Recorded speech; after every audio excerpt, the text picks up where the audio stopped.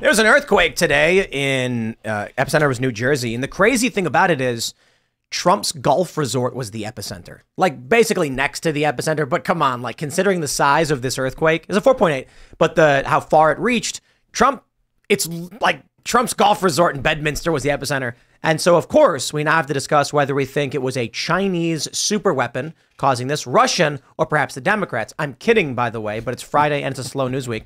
So I decided perhaps there's something that not enough people are talking about and doesn't generate enough conversation online. And that issue is, uh, of course, Israel. So instead, we're going to talk about that because uh, Candace, oh, oh, all right, we got to slow down. So Andrew Schulz says Ben Shapiro can't debate anybody but college liberals. So Candace Owen says, I would like to debate Ben Shapiro. So Ben Shapiro says, okay, let's debate. Now they've agreed and they're trying to figure out a, a time and place. Ben Shapiro says Nashville Monday. Candace Owen says, I won't do it on the Daily Wire.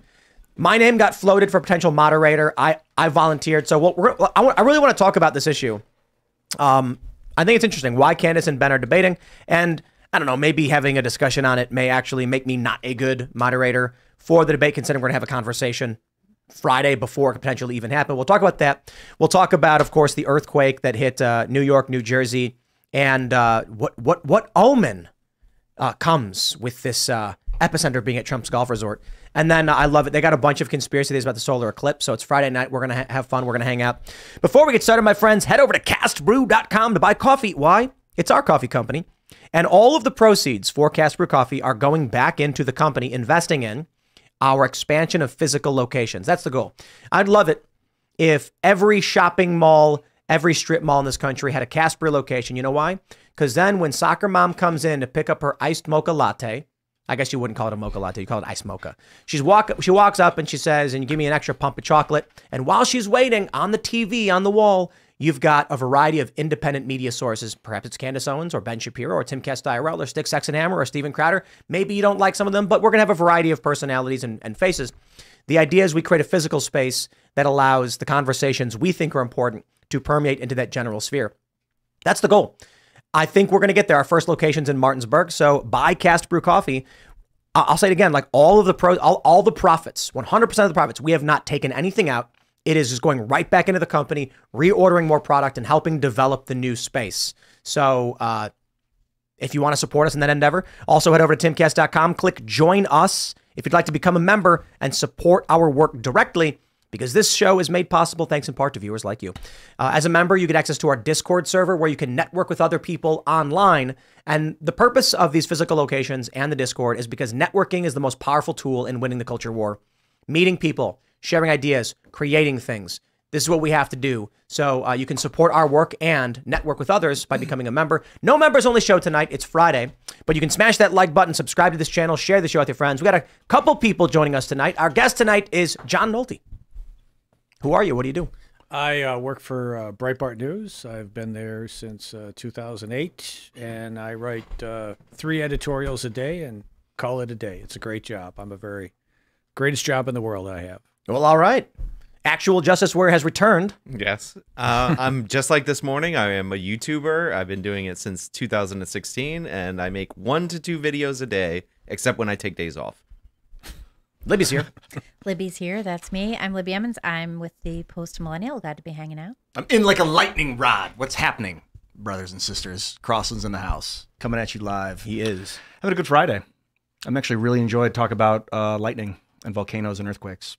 Yeah, and all, uh, Monday's going to be fun. I was gonna scream out "Cast Brew" while you were sh- while you were shouting. I like that stuff. Just so everyone knows, if you don't know already, I'm a It's a good coffee. huge Appalachian fan.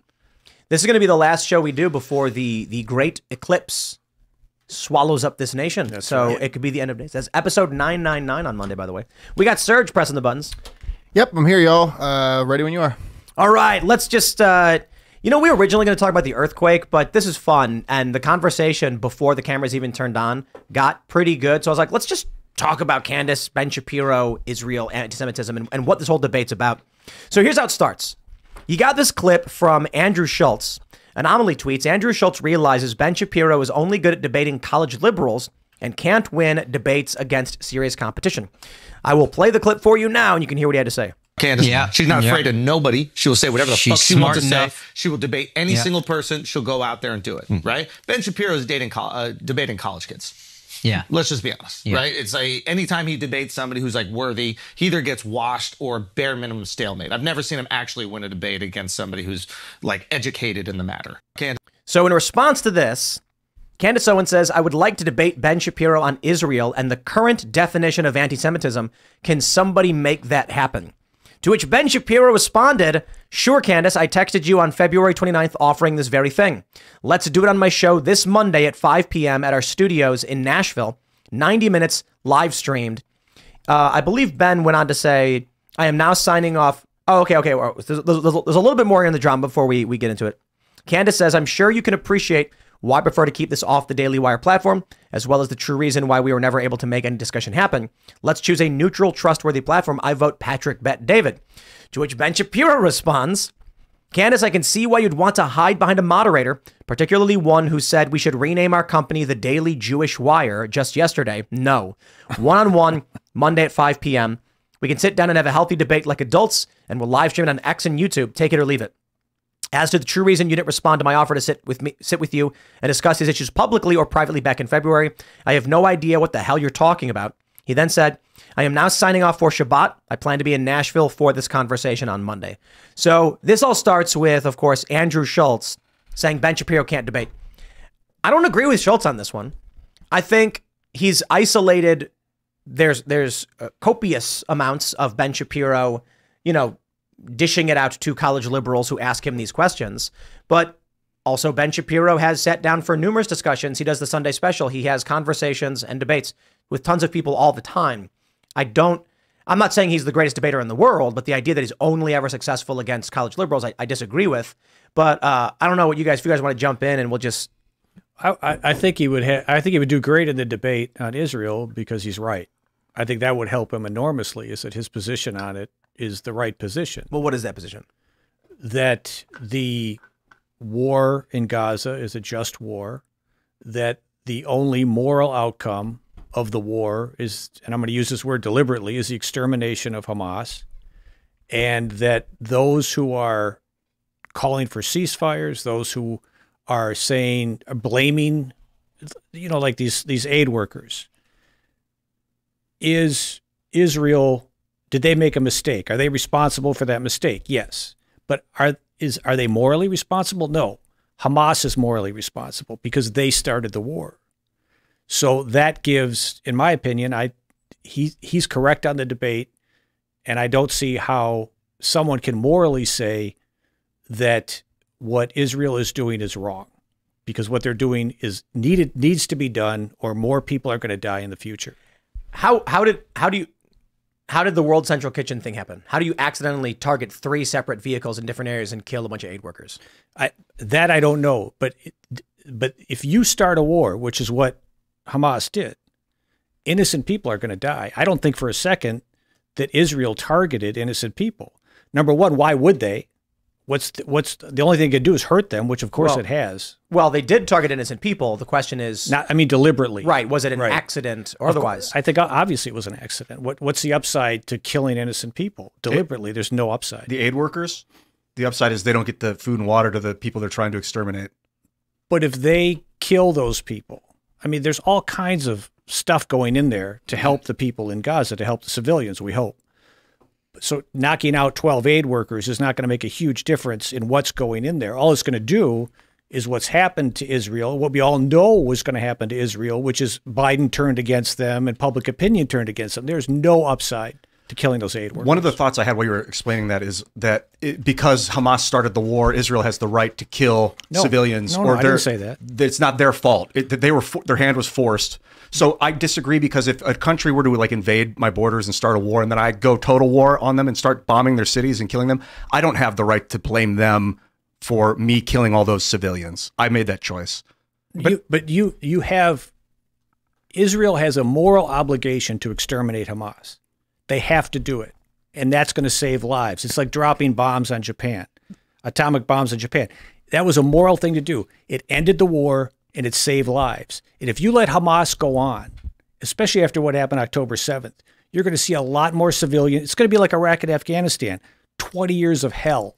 Civilians, this this this this immoral moral war that you let go on for decades and decades. So My- my concern- could, not they go to uh, where, where where's the where's the uh, leadership the, the Hamas leadership currently at? Aren't they in like uh, A bunch of them are in Qatar. Yeah. yeah. So why doesn't the, why doesn't the U.S. and Israel just actually go and put them in cuffs?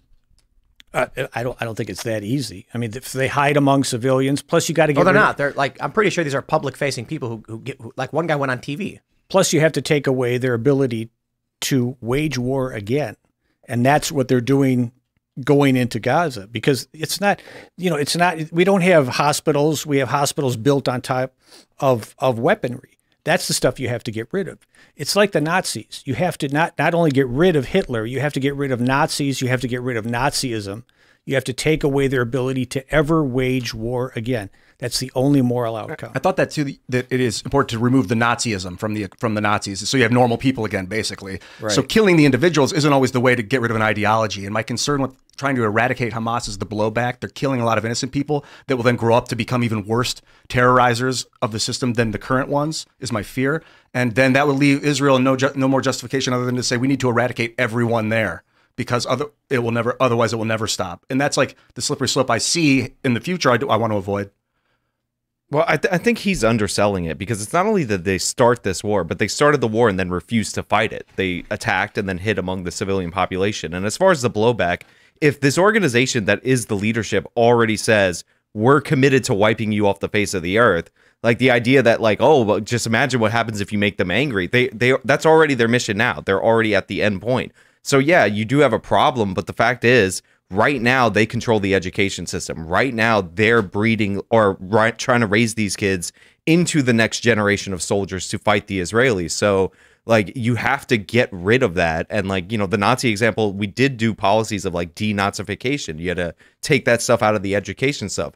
A lot of stuff that we would consider very like anti-American was done in Europe where they banned um, being in Nazi parties and denying the Holocaust and all of that because that's how extreme the the uh, that rooted ideology was in Europe. So it's a similar kind of thing. Like, but again, it's not that they just started the war; it's that they didn't fight it. They were like, okay, we attacked. Now we're gonna hide and then wait for the media to say, look at how bad you are at finding Right. us. And the other point I would make is that we've tried it your way. Israel's tried it your way for decades, and they got October 7th. So that way doesn't work because you cannot do business with savages. And that's what Hamas is. Not, I'm not talking about Gazans, I'm not talking about Arabs.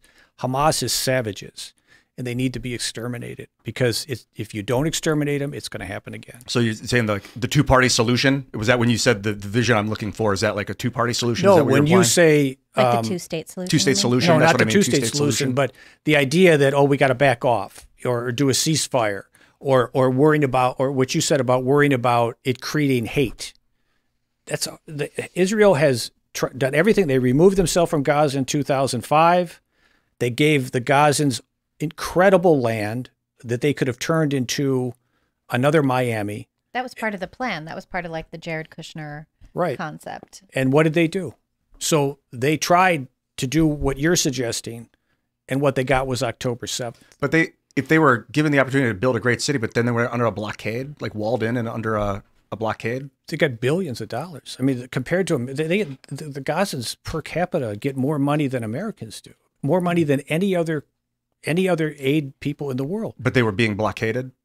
I don't know exactly what was being blockaded, but they were able to build it, build an awful lot of stuff there, including incredible tunnels. And why, I mean, if they, they- can build a tunnel, why can't they build a resort? Hamas posted the video of turning water pipes into rockets. Yeah, they did. Whether they actually Right. were, were doing that or it was propaganda, that was their propaganda. Where they were like, Sounds look at these water pipes someone they would gave do us. in that situation. You know, you have no money. You're being, if you feel like you're being annihilated, you just use your basic weapons. You know, whatever. No one, no one was annihilated. No one's in there. No one's bothering them. If if if if Gaza and Hamas disarm tomorrow, there would be peace.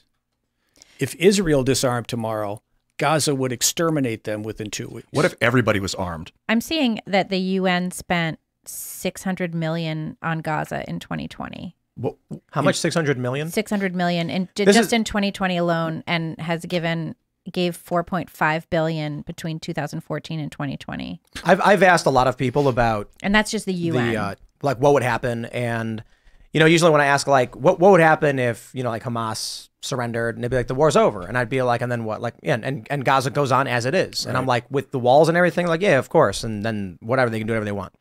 And then I said, okay, what would happen if Israel said we're tearing the walls down? Palestinians have free reign to move in, in and around Israel. You're not all welcome. And I've never gotten a straight answer because I think even the people who are who are critical of Israel, or even as I would call it, Israel deranged, understand what happens if Israel takes the walls down and says all of Gaza, please feel free to. You get October seventh. Yeah. If, if Well, you- there, there were a lot of a lot of the like I remember the October seventh. There were a lot of the um, workers who had passes to work in Israel were among those who were committing the atrocities on that day. So they had, you know, already had access to Israel, and they were coming in to do that. It's kind of crazy. I don't think that this whatever whatever this is.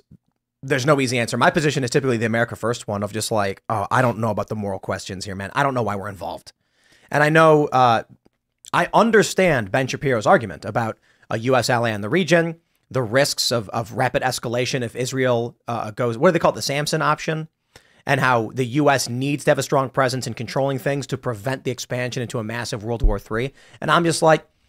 I, I understand that. My view more so is the U.S. is driving itself into World War III in a variety of different areas, particularly with Ukraine. I don't see how our involvement is improving anything.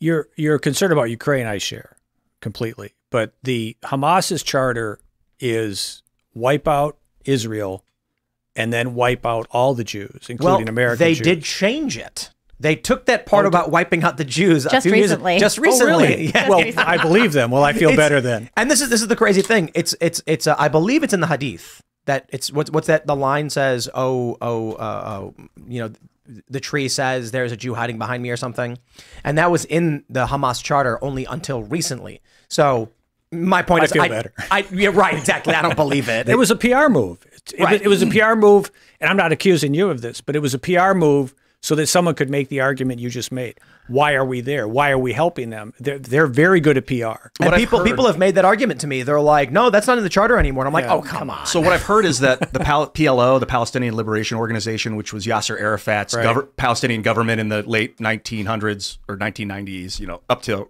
relatively recently, that I heard that the Israelis were involved with breaking them apart because they controlled the West Bank and Gaza, and it made it look like they're really going to get a two-state solution. We don't want that. We want the territory. So let's create a new government. We'll call it Hamas that can rule over in Gaza while the PLO can have the West Bank. Now we have two disparate factions fighting each other, easy pickings, and they're villains, so that when they attack us, we can use it as a false flag. It you know it's if someone stole my land, right? If someone came in and wiped out my family and stole my land, I would not sentence my descendants to generations of hate and despair and poverty. You move on. In fact, most places in the world have done that. That's exactly right. You move on, and but they what they have done, what what the uh, Hamas has done to the Gazans, and what the what Arafat did was sentence these people, innocent people, to generations of poverty and hate and vengeance, and he destroyed their lives, and Hamas is destroying their lives, and it doesn't matter what happened in the past. Just move on. But You know what what about need? I, I figured it out. right of return? Casinos in in the Gaza Strip. Th- They can't gamble. What about I know. What about right I'm of kidding. right my, of my point is, I, I talk about this because uh, uh, Native Americans, for instance, in, right. in the United States, they're never going to reconquer the United States. They've won lawsuits. That's what you do. They've set up casinos. They they. It was masterful. I was reading about, I believe, uh, Hard Rock Seminole. What is what started the wave of Indian casinos? It was in the seventies. They had a bingo hall. The state said gambling's illegal. You can't do this. They said you don't regulate us. We're federal under the under the under the treaties. Federal government said you're damn right. We have jurisdiction here because the federal government's not going to give up jurisdiction if they can keep it. And they said, no, no, no, no, they're, they're right. So they answered to us. And the Native Americans were like, we got a good deal for the federal government, tax money. And then they were like, let's roll. And then Indian casinos popped up all over the place. And now you've got these extremely wealthy tribes that have found a way to succeed through the history that has been bad. And I have, I have no. If anyone who looks at the history of what happened to the American Indian in this country, it's indefensible, and I have nothing but sympathy and empathy for that. A lot more than I have Well- for what's happening in Israel, and I agree with you 100. percent Well, they not- have arisen above it. on the Native American thing, I think it's important to question. Uh, it, it's not. It wasn't a monolith.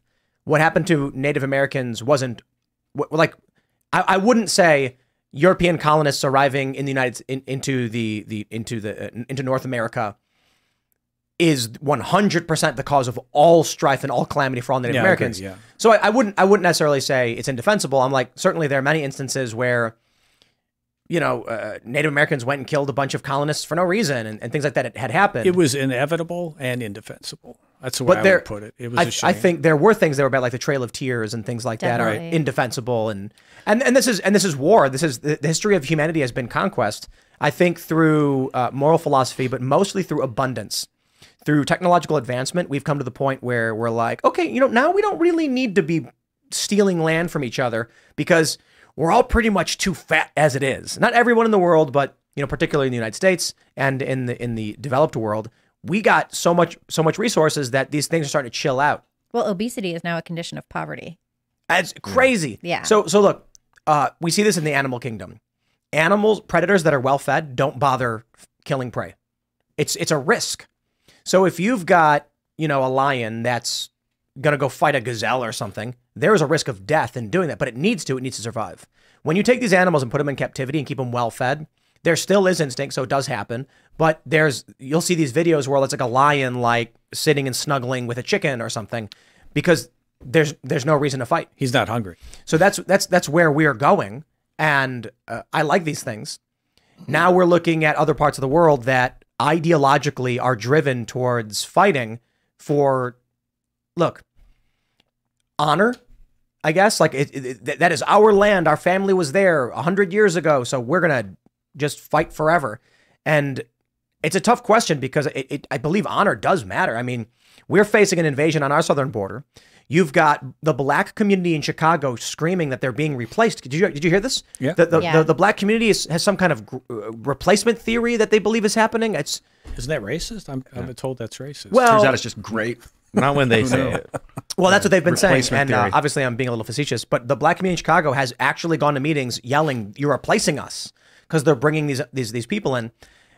I think it's fair to be like, "Hey, we have morals, we have traditions, we have values, we don't want to lose, so we should control immigration." But there's a question of, do you leave New York? Do you leave Chicago? Do you leave California? Find a better life. I think there is a good argument for find where you can where you can uh, thrive make money, have a family, and then win financially and let the people who have the bad ideas fail. And then over time, you end up winning. But many people have said, no, you can't give up these cities to the far left. So there, there is an interesting conundrum in would you actually give up your land if someone came to take it from you? Versus, I see your point. It's been what, 70 something years. yeah, it's And- crazy. And at this point, maybe your best opportunity is build success and wealth. You- I mean, Well, But if no- my if my nobody dad was like, you know, your grandma's house, my whole life since I was a kid, he was like, that that the guy that lives there, he stole that from your grandma 35 years, 47 years ago. I'd be so pissed. I would be so pissed. And a dude was just living in my grandma's house and she had nothing. Like I would be so mad. Why doesn't But anyone would you ever go get kill? mad at? Would you go try to kill that guy? If you ask me that now, I would say no. But if you stick me in Gaza for 20 years, I don't know. But why does no one ever get mad at Egypt? I mean, there's Right. three crossings into Gaza. There's two from Israel and one from Egypt. Egypt supports this blockade fully. Yeah, Egypt's- They they are fully complicit and happy about it. And you have also other other nations in the region. You have, you know, there's all these Palestinian refugees. Other nations in the region are refusing to take them in. So what's going on with that? Why is it that these people are you know why is it that this this group of people are so unpalatable to the rest of the people in the region? It's not just israel who comes against these people. Do you know what It- i mean? it's, it's the strategy. Like all of these nations have made a pact that they weren't going to take them as citizens because they want a perpetual refugee That's right. population there, a stateless group of people, because they want them to go into Israel. it's all politics. They could take these people, and I know like there have been problems when you import a mass of them that they don't think the government's uh, radical enough. This happened like where they try to assassinate the king of Jordan. But the fact of the matter is, they were citizens of Jordan. Like there was no Palestine that Israel took over, and they were citizens of Egypt. But like the plan and all the Arab states are basically aligned on this is to keep them there, have them be stateless people, because eventually, like it, in my opinion, it will work. Like I'm actually pretty doomer on like the future of Israel because public pressure is already turning against them. You can get attacked. It's the greatest terrorist attack in your history, proportionally one of the worst in the world compared to their population. And public opinion is like not on their side, and they're Well, only losing here, ground. right? I just- Public opinion where here or Even here, it's Even like it's, here, it's yeah. low, but like worldwide, I mean, now granted, there's like 55 countries with built-in animosity to the for the jump, but yeah, they're losing public opinion on the world stage. So this is the design, this is the plan, and I think back when the 67 war happened and they actually expanded into this territory, they should have sent the people there because what happened when to the Jewish populations in all these other countries? They were they were removed from their countries and they had to go to Israel. I- So I, I think the repopulation is important attacking, thing- but you think they the- should have The important thing people that? need to understand about war is that you're not making any moral arguments. It's never going to happen. There is no circumstance where you say, "Hey, Israel, what you did was wrong and unjust." Well, I think re- their, their response is going to be, "We're at war. Have a nice day." I think repopulation violates the Geneva Convention. Oh, it, think- it, it does, but it's it's it's one of those things that now it's like it sounds super horrible. But Germany is a state for Germanic people. Italy is a state for Italian people. Like different ethnic groups have separated to form their own states throughout all of human history. I mean, Austria, Hungary, two separate ethnic groups. They split off into two different countries. Like you need to s- you like if you can't get along with the with two groups can't get along. Like one of the what, Are you- what your are you option is to is to form your own countries. This is what the Kurds have been trying to do are you su- forever. are you suggesting we should have a national divorce? In America, I I don't think so necessarily in America, but Well, one of the things I think about r- right of return, because we're talking about like repopulation going, is like you were saying earlier, John. I kind of agree with you, got both you and Tim, that just because my my parents owned a house, I'm born, I don't have a right to that house. So what is this right of Why return? not? thing? So so let me let me. well, let- I think it's I, by de mean, if facto I don't own it when you, I'm Okay, born. so the guy that owns it owns it. So let's so let's that's let's, his. let's let's let's play a game.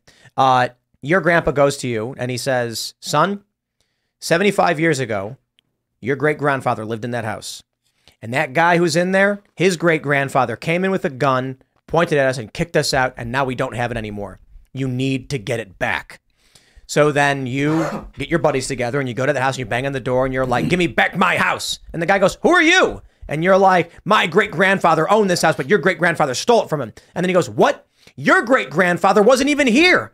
There was no one in this house. I came here. Your grandfather was across the street." And you're gonna be like, "That's not what my great grandfather said." And I'm sitting here as like an adjudicator, being like, "Yo, what?" Yeah, I don't I don't like that. It belonged to my ancestors, so now it belongs to me. I don't No, like that. No, no, I- no. That's not what I'm saying. You don't know. You've got the pro Israel side saying that's not true, and the pro Palestine saying, pro Palestine says it's our land, we can prove it. Pro Israel side says, no, it's not, we can prove it. and then the United States is stupid, in my opinion, for being involved in, in a dispute that has has no, like, you're not, you can't solve. I don't. I think that trying to build Israel there because that's the place that they were two thousand years ago is like the Palestinians saying, "I want my house back." It's the same. My point is, you are you are operating under the assertion it actually was their land, which is disputed by the opposing faction. oh, okay. I, am not Israel or Palestine. I am the United States, and I say I don't see why we're involved in their dispute over And this. I would I I would just take your metaphor even further. Look at what you were talking about the strategy. If you care about the people in that area, they're the ones that are suffering because of that bullshit and because of the strategy that he's talking about. It is the the the Gazans, the civilians, they are the ones generationally being abused by Egypt and, and, and the Palestinians and, and the Hamas. They're the ones doing the suffering. Israel's doing pretty good. You know, they built a little paradise over there. I know October 7th happened. But the true victim of all this are the are the people that are being kept in poverty and are being taught to hate and vengeance and are being told you need to go get your grandfather's house. That's your identity. go get your grandfather's And now, house. and now here's another thing too. Ben and Jerry's came out and they were like, "We should, you know, we're, the U.S. is on stolen land. We should give it back." And then some Native Americans were like, Your factory is "You're- on stolen you- land. We should give it back." And they were like, "Wait, no, we don't want to do that." Not for us. But but think about the United States. There are na- Native Americans who are worth hundreds of millions of dollars or millions of dollars, wild, wildly successful. Uh, there th- th- there is this like after a long period of time. I don't think the answer is for wealthy and successful Native Americans who have made a, a good life to, to be like, okay, now I'm going to go physically fight to take the They Ben wouldn't. and Jerry's factory. They were bought. A lot of those chiefs were bought out in the process of the of the My- my- my colonization. point so they were very wealthy. A lot of them. They weren't like the slaves. They were my, very. my point is, you're better off living on barren land than fighting in a war. Yeah, just go go do your own thing. Just let it go and do your own thing. That's the key to a good life. And the other thing about this whole colonized land, that that Indian tribe that said that they owned the Ben and Jerry's land, maybe they did.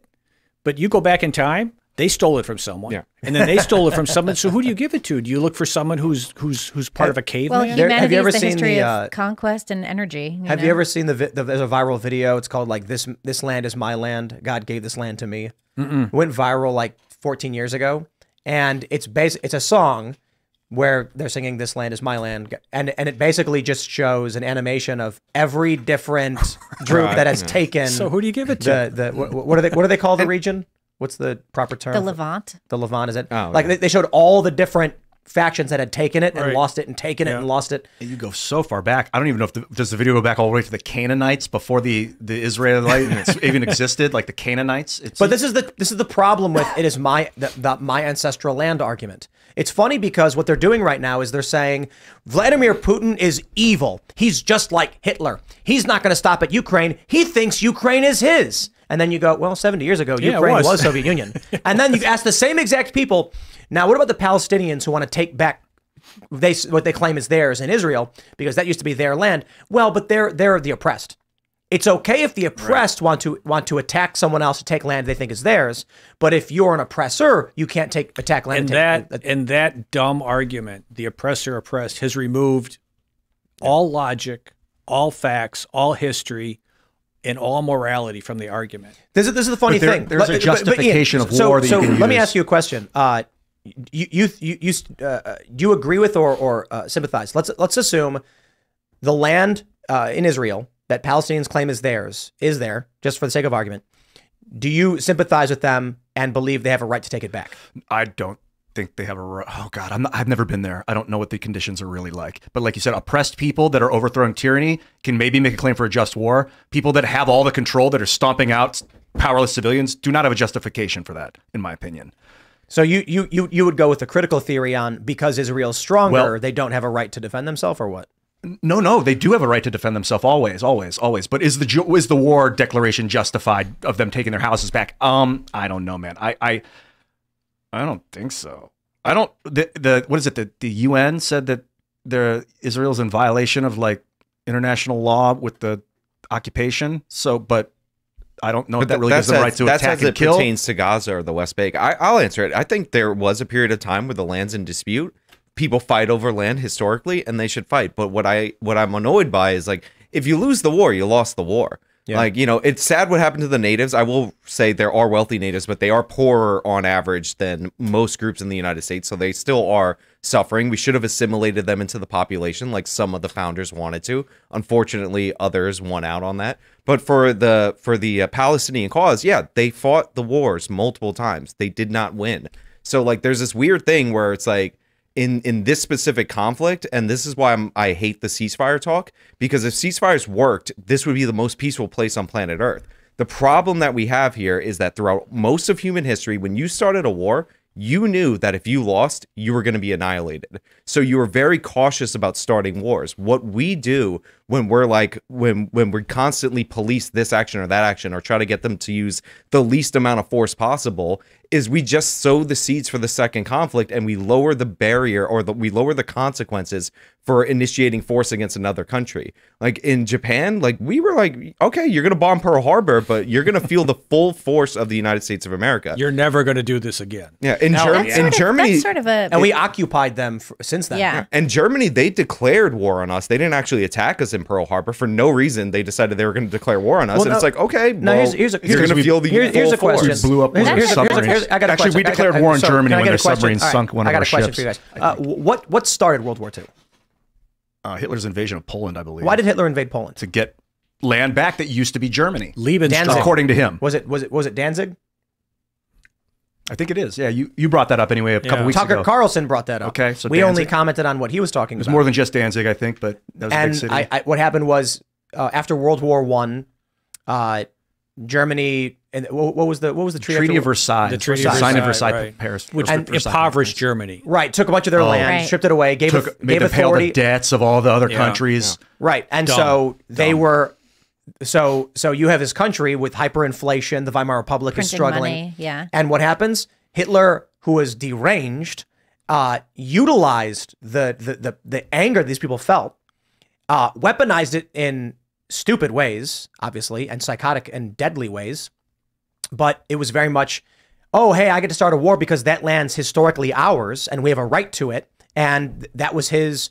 He said that city was historically Germany. Give it back. Poland said no. He said okay. Declared war. Yeah, it was more too. I've heard that there were they were the people in Danzig that were considered the social Germans were being genocided by the new Polish government. They wanted the city for Poland, and uh, Hitler was like, "Oh God, those are Germans." And by the way, there there is a lot of truth to Eastern European cities being set up by the Germans. Like that that actually is like historically accurate, but that doesn't necessarily mean you could invade that territory. but I, am gonna nerd out and say Japan started World War II because they were invading countries in Asia before that. Right. Absolutely. they were super aggro. But but I mean like, it- you know, like what what what triggered? I say Mussolini Germany started World War One. and- Mussolini's invasion of East Africa gave Hitler the, the casus belli. Yo, it's wild. Like World War Two was like legit all over the place. It was in in Africa. Is everywhere. It was like a world war.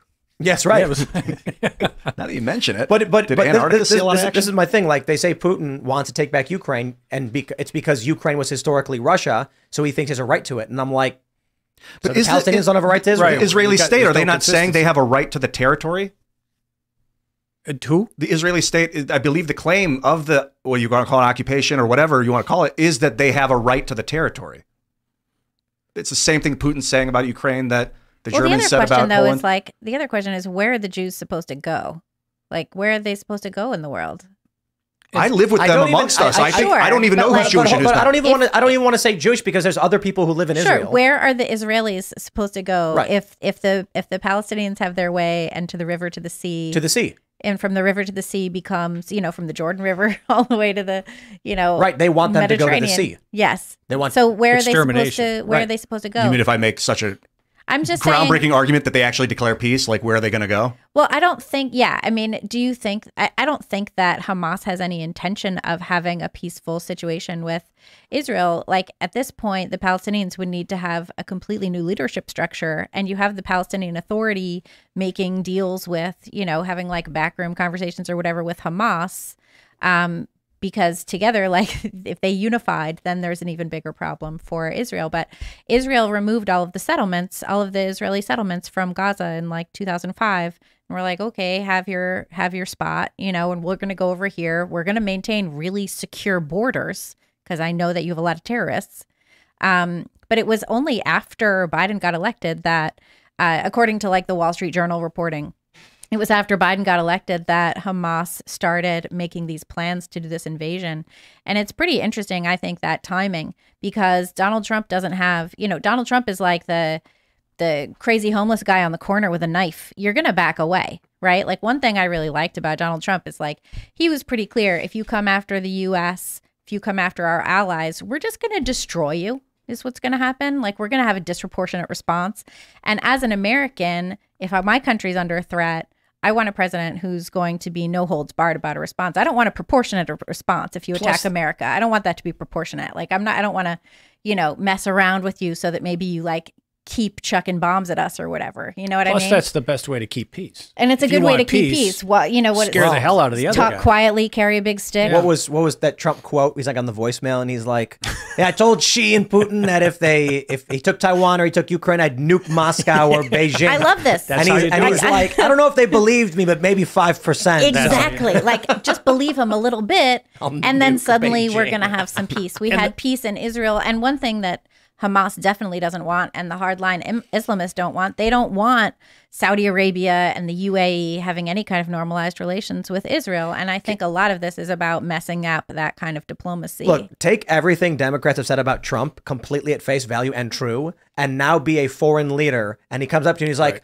uh, "Well, if you take uh, Ukraine, I'll, I'll nuke Moscow."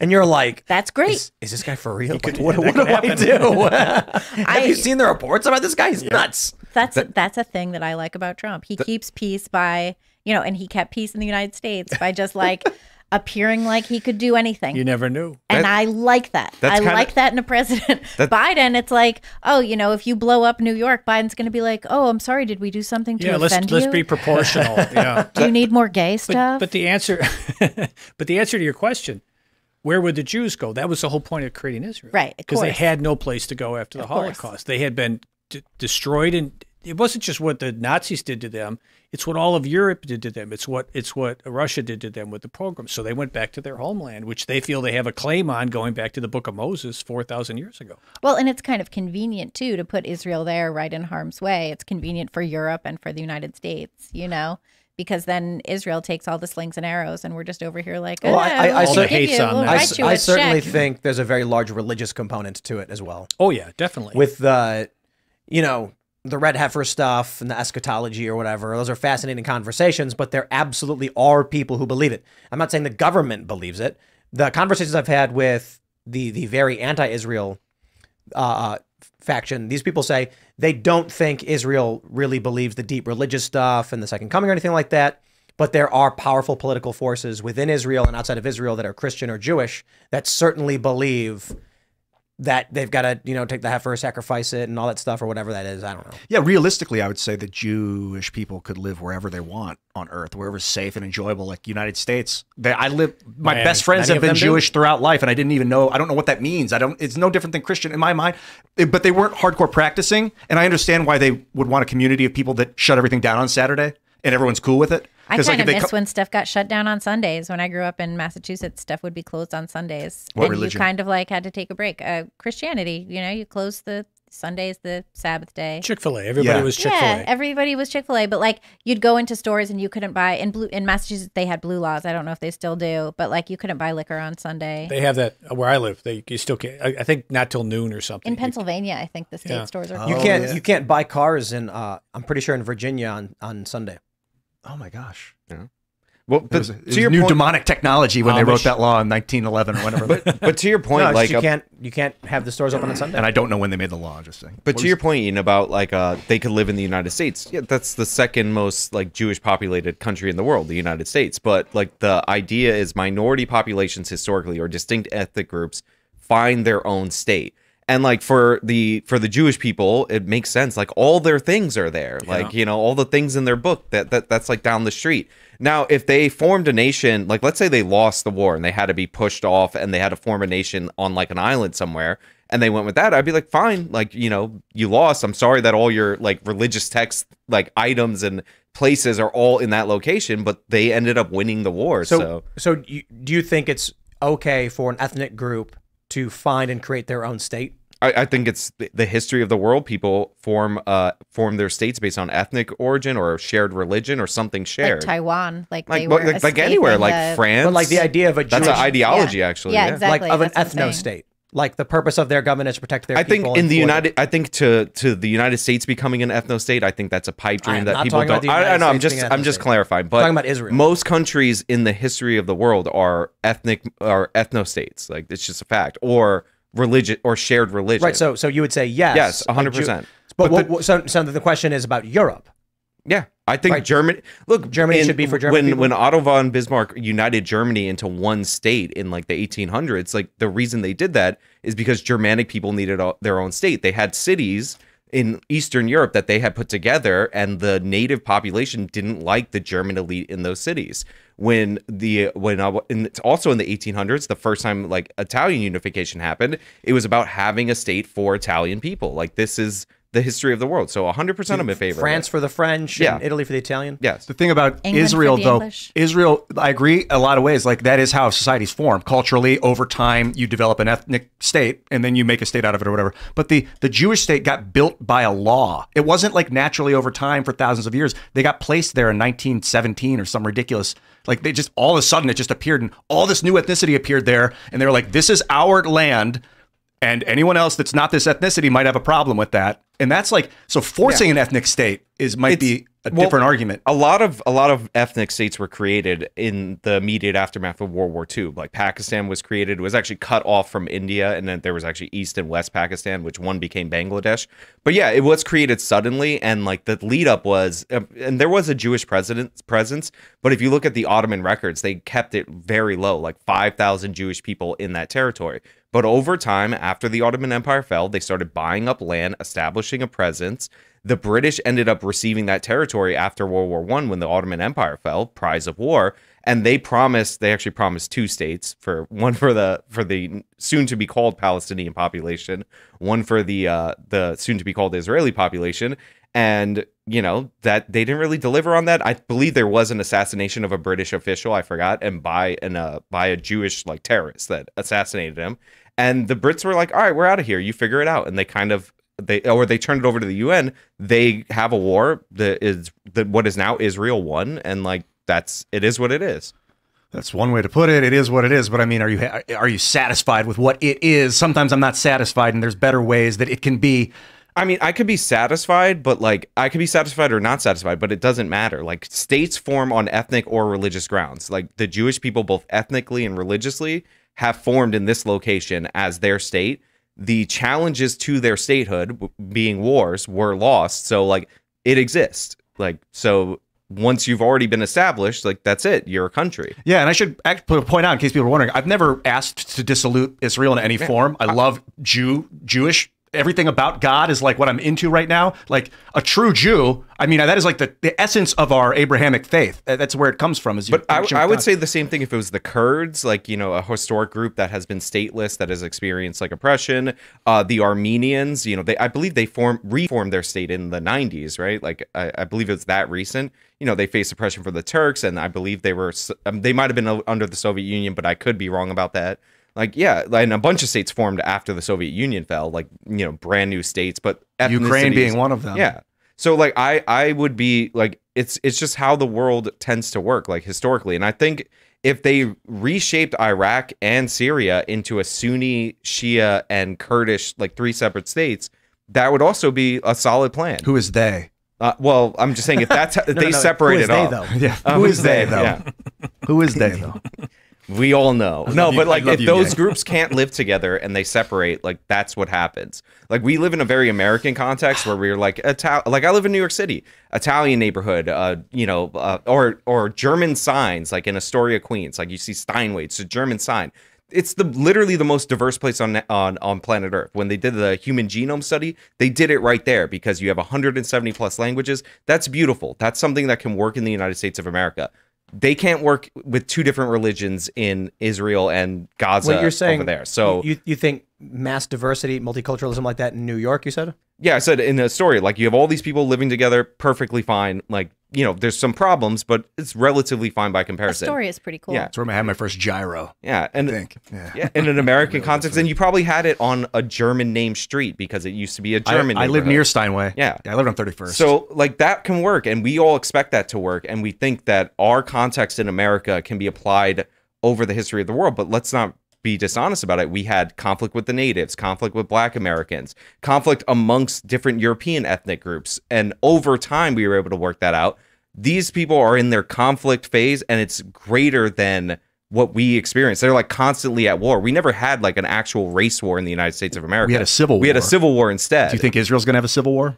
Inside Israel, no, but like with these, if they were to merge the countries, like you know, absorb the population, these one staters who just want the Arabs to have the majority so that they can vote to kill the Jews, Right. Like, if they were to do that, it that would would lead to a civil war, which is what happened to start Israel. Like that territory, that was what that was. They just weren't a nation yet. with our with our comeuppance is our this a nation that's given us the groundwork and stability to host 180 different cultures or whatever you were talking about in one city. Like we fought a civil war and mm-hmm.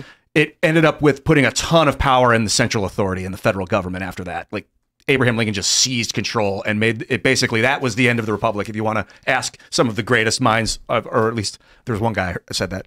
Uh, I kind of agree. The, the Civil War, it was like, we can't do this republic anymore. It's not working. We need a central authority. It's too big to have a republic, is what the, they, they thought. And it's yet to be disproven because we're still together. Um, but think, it, do know- countries need that in order to support this forced integration? One of the things that I, I take a lot from Israel is Israel established itself as a nation. It hadn't been a nation previously, right? It also, um, I forget the guy's name, but the the guy who basically said, you know, Hebrew has not been a spoken language. We're going to turn it into a spoken language, and he said we're going only going to speak Hebrew to our kids, and he resurrected Hebrew, right? And that's that's a really that's a pretty fascinating thing. He said this is our culture, and we're going to make a place that our culture is. And I look at America, and we have, you know, growing up We all grew up in this country. We had a really rich culture. You could kind of understand it, right? You knew like what the cultural norms were. There was a lot of there was baseball, there was apple pie cooling on the windowsill. These were whether these were our homes or not, these were some of the things that we looked to. We had this idea of what it would be when we grew up in this country. We would be able to own a home. You know, if we wanted to do that, we would be able to go west and pursue our dreams. We'd be able to have families. You know, we expected that the uh, cultural infrastructure would exist to teach our children about our history, uh, our our language, our shared beliefs, our shared understanding, our um, the social religion of kindness and generosity that basically exists regardless of what your religion is at home. And then we have had the past like what 30, 40 years of directly undermining that and cutting off our own culture at the knees and saying everything that America was built on is wrong, so everything that exists in America is wrong and needs to be dismantled. And I look at a co- country like Israel or like you're talking about ethno states and I think America doesn't have that. And that's a good thing. But why is it that we are destroying our culture and saying it's terrible and replacing it with something that, you know, has a morality like shifting sand, where we can't stand on it? We can't send our children to any schools and expect that they will even be educated in our own history. Our institutions are no longer stewards of our culture, they're no longer stewards of our history. Like, why is it that we have so much to say about every other nation on earth and what they're doing, you know, and how they're treating the their conflicts or whatever, when we have absolutely no interest in preserving or stewarding our country and keeping it, you know, keeping it whole. We just let we just let it totally crumble. We just let it be attacked constantly. I'm I'm Well, we used So to have, sick of we used that. to have so much buy-in in America that people would not teach their children their like native language Correct. from where they came from. Right. Not, Right. not because they wanted them to be This is uneducated, my great-grandparents. but because they wanted them to speak English. They wanted them to integrate into the country. you couldn't say a bad thing about about America to any of my Yeah. great grandparents, and they were Italian, they were Norwegian, and they were you know, and then there were the Yankees, and, and, they and were I the think same. I think a second language is super valuable. I wish I would have learned Spanish from my mother, but like that used to be the norm in America. Of German immigrants and throughout all of his Italian immigrants, and it's like it wasn't like you were losing it because you were being Americanized, which is considered so negative.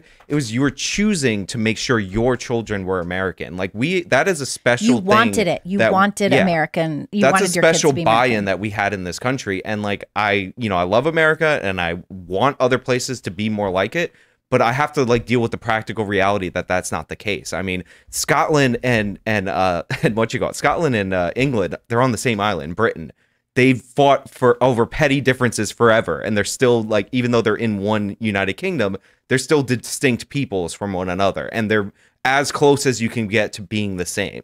So like this is this is just what people tend to do and like you know we've tried to move past it here but it's not something that everywhere in the world is ready for especially not in the middle east especially not in israel and gaza and uh what's the other one? The west bank. I think that one of the great things about America, though, because what you're saying is right, but we have 50 states, and you can find what you're looking for if you move.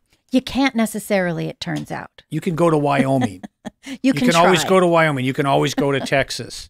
I just and- left New York last year, and I moved out here, and, And I love it out here. But I have not found what I grew up with. But I find if you, if you know, in the cities, things are bad because Democrats run the cities, and there's division, and they're removing merit.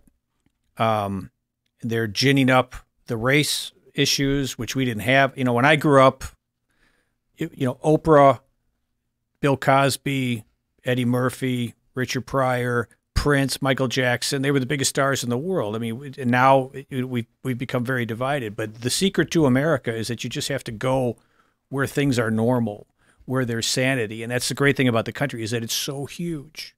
It's so big. And I think another good thing that's happening is the the way that we're atomizing the culture. Now that like this, what we're doing right here, this wasn't here 20 years ago. It was ABC, CBS, and NBC. And now people can find their own culture and be a part of that like they did for for 10,000, 100,000 years of human history until mass culture came along. So the great thing about America, you have the states and it's so big and so vast that you can't hide from it. And I've always said the Amish figured it out. The Right. Amish knew what they were doing. They moved to the most rural parts of America. And they unplugged from the mainframe and they held on to their culture. They also moved to like one of the only places in the United States where you can actually grow cocaine. You can like grow Where? coca leaves there in Lancaster, that explains the work ethic. right? Yeah. Lancaster. What Lancaster. state's that in? It's in Pennsylvania. Just asking for a friend. yeah. No, Yeah, I live. Isn't I grew up by Lancaster? Amish. Lancaster. Lancaster. I don't know. I'm not from there. Yeah. Maybe Yeah, I'm that's pretty the sure it's British Lancaster. pronouncing. Lancaster instead of what It Lancaster. sounds like how John Lennon would say Yeah. it. Lancaster. I'm gonna go with Lancaster. It sounds more. I grew up near the Amish. We used to make I fun can of say those. Worcester. I Those can people say that okay. Those guys. I knew some Amish people growing up, and I would kind of just thought like, oh, I feel so sad for them. They're never going to get to play video games like me. all They have figured out, They can do anything they want in Rumspr- Rumspringa. What's Rumspringa? It's like your gap year from being Amish. You get to Oh. go live in the In the world real- yeah. They in, and check It it, is out. Lancaster, in Lancaster. not Lancaster. Did you guys? Did you guys know the Amish are really bad at solving murders? No. Their forensics are centuries behind. No, they got to figure it out, you know, and that's what we can, that's what everybody can do. That's the great thing about this country is that you can you can unplug, you can remove yourself, and you can have your own culture. You're not always going to be able to do that. Eventually, the Democrats are going to win the Supreme Court, and it's all going to be over. That's that's the beginning of the end, and that that's they're going to inevitable. pack the court? You think I don't think they're going going to have to. I think they're going to win enough elections, and then as soon as the Supreme Court is left wing, America's over. We're going to lose. All they need is five justices, and Mm-hmm. it's going to be over. So, but I don't know. Hopefully, that won't happen in my lifetime. I'm glad I'm 58. Yeah, but don't 28. don't plant seeds of trees you don't want to see.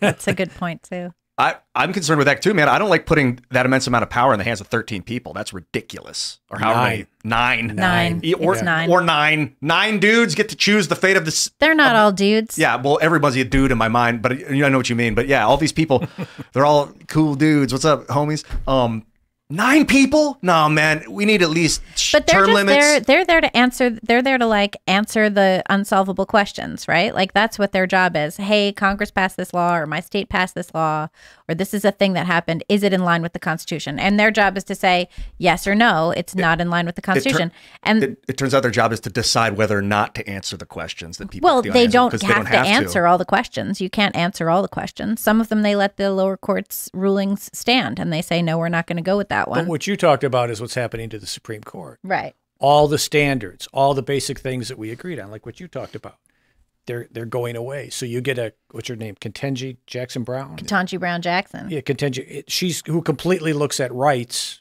not from a not from a human rights point of view, but from a racial point of view. Yeah, she looks at it in the oppression hierarchy. Exactly. So that's that's when the Supreme Court breaks down. You get five of her, we're done because she's going to rationalize every left wing thing.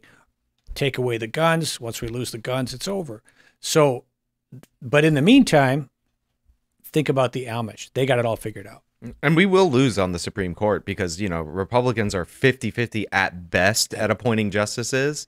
And, like, you know, a, a constitutional or textualist philosophy, they'll say, oh, political, they'll use political, uh, political questions doctrine to refuse to deal with something like that. But as soon as they have a majority, they're going to press on on all these issues. Like, you know, Roe versus Wade, like they invented a right to privacy and added abortion into the right of privacy. Like, that's how we Yeah, got they that made it up. precedent. Yeah. and like that there's a bunch of different precedents where they're like oh well you know you have to adjust it. Like you know ruth bader ginsburg would say the constitution is a living document. It's like if you have a living constitution it might as well be dead. Like we have an amendment process in order to make changes. And now we've gotten to a time where we're talking about the country resting on which nine people are on the supreme court. This was supposed to be the weakest branch of government and like it's the it's now like arguably the strongest behind the presidency which is a complete inversion of how it's supposed to be like it was supposed to be congress president court and then like we kind of flip that although the president's powerful in other regards more powerful it's well, like hard- Congress is just dysfunctional. Yeah. Yeah, I was going to say they're the most uh, powerful civil aspect of our government, the courts. But then I was like, well, Congress is civil, but they're not really. But I didn't want to make that joke because I like those people, some of them. Some of them. I mean, they're suppo- are they considered civilians? People that serve in Congress? I, I would think so Yeah. That's our civilian. yeah. But the executive branch is not We call it a civilian. civilian government. Except the tech, yeah, yeah, opposed to because military government. the the is supposed to be a civilian in that role Right. of the commander of the military for the time. Well, so you're shall talking we, about. Shall we move on then and, and, and talk about prophecy and the end of the world? I would love to. All right. So there's an earthquake in New York. Now that we're rapidly shifting off, that was the longest segment we've ever done. Epicenter of the New York City, New Jersey earthquake was near Trump National Golf Club. Ground shook very hard. What a great quote. I don't think near is fair. I think at is a better way to put it. So you have uh, here's the image of the epicenter of the earthquake. Notice the highways here. Notice everything. You can pull up Trump's golf club. It's literally right there. It's there. The Trump Golf Club is the epicenter, thus proving Trump is either going to save humanity or condemn it. What say you, panel? Do we have any reports of damage from Bedminster? I don't think there's any damage. I think I, I think a garbage can tipped over. Right. I think that They ju- will rebuild. Just like Ruth Bader Ginsburg wants you to think the Constitution is alive, I think the Earth is alive. I think it is. I think there, at least, at the very least, it's a lot of living organisms making up one big organism, kind of like our bodies, with all these living cells making up one living organism. And I think this is not a coincidence, Do you So think you're it's saying- a conscious rock? The Earth or is at mad least at Trump? sentient, or or Maybe something about Earth has been Trump. watching MSNBC too much. Yeah, it was in Taiwan and now it's at Bedminster. I mean, it could just be total coincidence. I just it, the magnetic nature of the universe and earthquakes, ma- lightning, and the way that magma is magnetic and flows, and like it's all kind of connected. I think I think Letitia James just filed a motion saying he overvalued this property. Didn't write that it was on a fault line. So like, Is, that, he's that true though? No, I'm Oh, that because that that's actually some people were saying that Lat- Lat- Lat- uh, Letitia James is threatening to bring up charges against Trump for the earthquake, but that he didn't. He overvalued it. Never, never That had, actually makes sense. He said never had an earthquake, zero percent chance in a filing twenty years ago, and she's got him now. So, but yeah, I, It's- it's the Ramapo fault that this goes is under New Jersey. we live in a simulation, and the Mandela effect is because they can't erase all of our memories when the simulation changes. I'm kidding, by the way, but like, it's it's just there's so many weird things that go on. It's insane. Yeah, it was an earthquake. Everyone's like, "Wow, did you hear this?" This morning we were doing the show, and like people are texting like, "There's an earthquake," and then they're like, "Oh, and by the way, it was like at Trump Trump's golf club." I knew before this. Oh, were you gonna say I was gonna say, put that in a book. No one would believe it. Right? Yeah. You put that in a movie. No one would believe it. stories when, in the when they when they write the history, and they'll be like, shortly before Trump arrived at court for uh, you know for this proceeding, there was an earthquake at his golf resort. Which shocked the nation or whatever, and people are gonna be like, "No, it come on, yeah, right." Go on. They're embellishing announcing everything. the arrival of the host. Um, at- in the Bible, they'll talk about like great natural disasters wiping out unjust people. I think it was Sodom and Gomorrah. They say that it, I don't know what it was that destroyed the city in explosion. I think it was built on a salt mine, one of those cities. So the fumes from sulfur caught fire and the whole place lit up. I don't know exactly, but What Sodom and Gomorrah? Yeah, Gomorrah God smote them. smote them. Yeah, like God struck it down. So I wonder. I was thinking last night, like if there's some horrible tragedy about to occur on the planet Earth, and God steps in and stops it with a natural disaster, like it would be horrible. Well, still. here's a question I have. I don't know if, if you guys have the answer for this. How did God smote Sodom and Gomorrah? Smite. Smote is the past tense. That's what I'm. That's right. yeah, that because he, he, would smote have them. smote them. Smoted. How did he, He smite them? I like smited as the past. he tense. smate them. There was in two. such a path. There, it's two. Well, like he So already maybe- did. So I'm asking, how did he do it? So it's past tense. Would it be plural? Smeat. How smitten were they? All right, But, sorry, but my, interrupt my, my, my, my, my point was like, was it, it? Does the Bible describe it as a mirac- miraculous destruction, or did God use natural means to destroy them? Right? Did like did a volcano erupt and wipe them out, or was it like a beam from the sky came in low orbit, ion cannoned them into into oblivion? I don't It think was there's rains nat- of sulfur and fire. Yeah, I don't think there's a natural disaster attached. That to it. sounds like a natural disaster. That could be a natural disaster. Rain of sulfur and fire? yeah, they had No, salt I mines. Well, It was wouldn't like a- that be like? I mean, you The could have. Well, yeah, there were the salt mines, and then Lot, his wife, turned into salt because she looked back. was that Gomorrah? Yeah, weren't they fleeing? Wasn't that them? I read, I watched something where they said it was a nuclear bomb. Oh yeah, I was. aliens aliens nuked Sodom and Gomorrah because they were debaucherous and spreading disease. And the reason why they said "do not look back, or you'll turn to a pillar of salt" is because she got vaporized by the shockwave. Oh, well, that. But that's one of those explains that. ancient aliens things. You know what I mean? They're Yeah. like Ancient sort of- alien theorists say right. yes. I- I'm not a I'm not an earthquake expert. They I think they call them geologists. Uh, but is the epicenter Seismologist. Seismologist. Oh, see there See, we you go. don't even have that there one. we go. Uh, I said I think, but You're not a vocabulist either. yeah. is the is the epicenter the strongest point or just the origin point? Like, so maybe Trump was shooting out the earthquake at his enemies because it did hit New York City. Like the eye of a hurricane. So Trump's in his underground lair and he's like, "We're gonna teach Letitia James a lesson. Activate the device."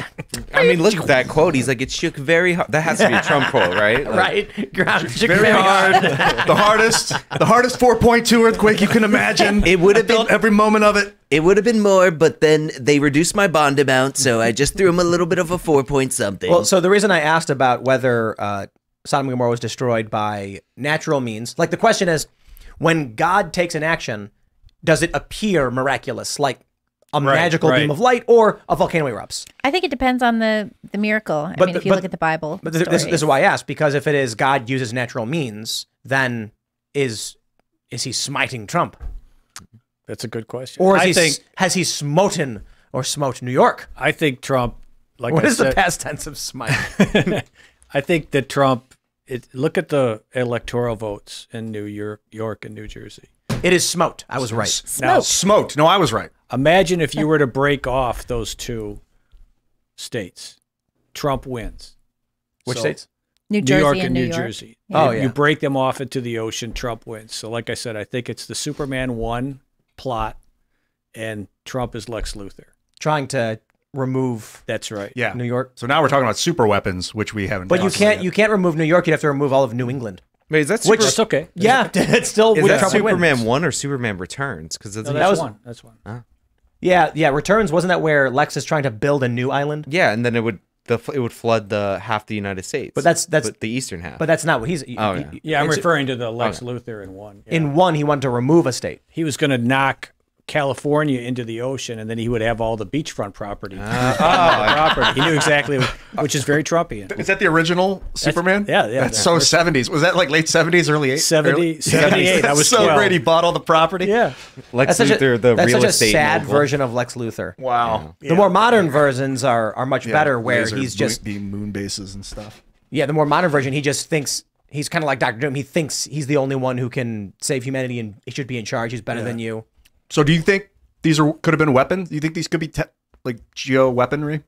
I mean, I threw out the could ch- be obviously. I threw out the unlikely. Chinese super weapon early on. Yeah, we're- we got a split decision on the panel here. And then I was like, well, wait, it's an American super weapon. They did it in Taiwan to make it look like the Chinese. Now they do it to themselves, or maybe they're just getting it. This is on Trump. I mean, Oh, Trump false flagged himself with his own earthquake device to make too. himself look like the victim. there you go. I don't know who's quaking. I mean, who who's whi- at the center of this? which earthquake? which politician's favorite movie is The Core? Because I believe they were using an earthquake weapon, and that caused the events of that film. Yeah, they stopped the core from spinning Yeah. because they were using earthquake weapons. And then they had to go down and kickstart the the core again. What if this was Jewish people digging a tunnel too deep?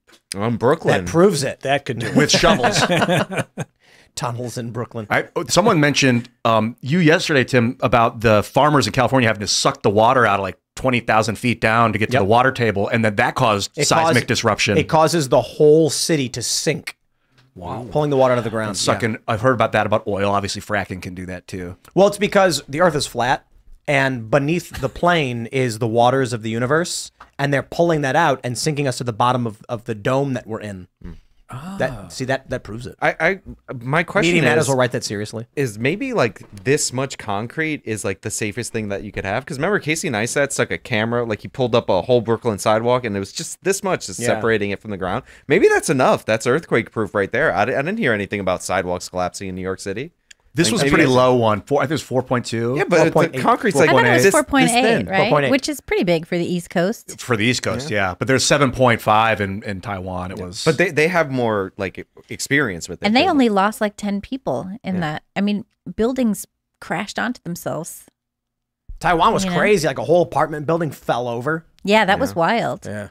It's Scary like a movie. Well, uh, they were commuting, so like I guess a lot of people in those buildings were out and Yeah. going to work. It was like 9 a.m. over there or something. Crazy. Yeah, it was it was like nine o'clock in the morning. I always think about like the if like if there were a real earthquake in New York because there's a fault line that goes right under Twenty Third Street.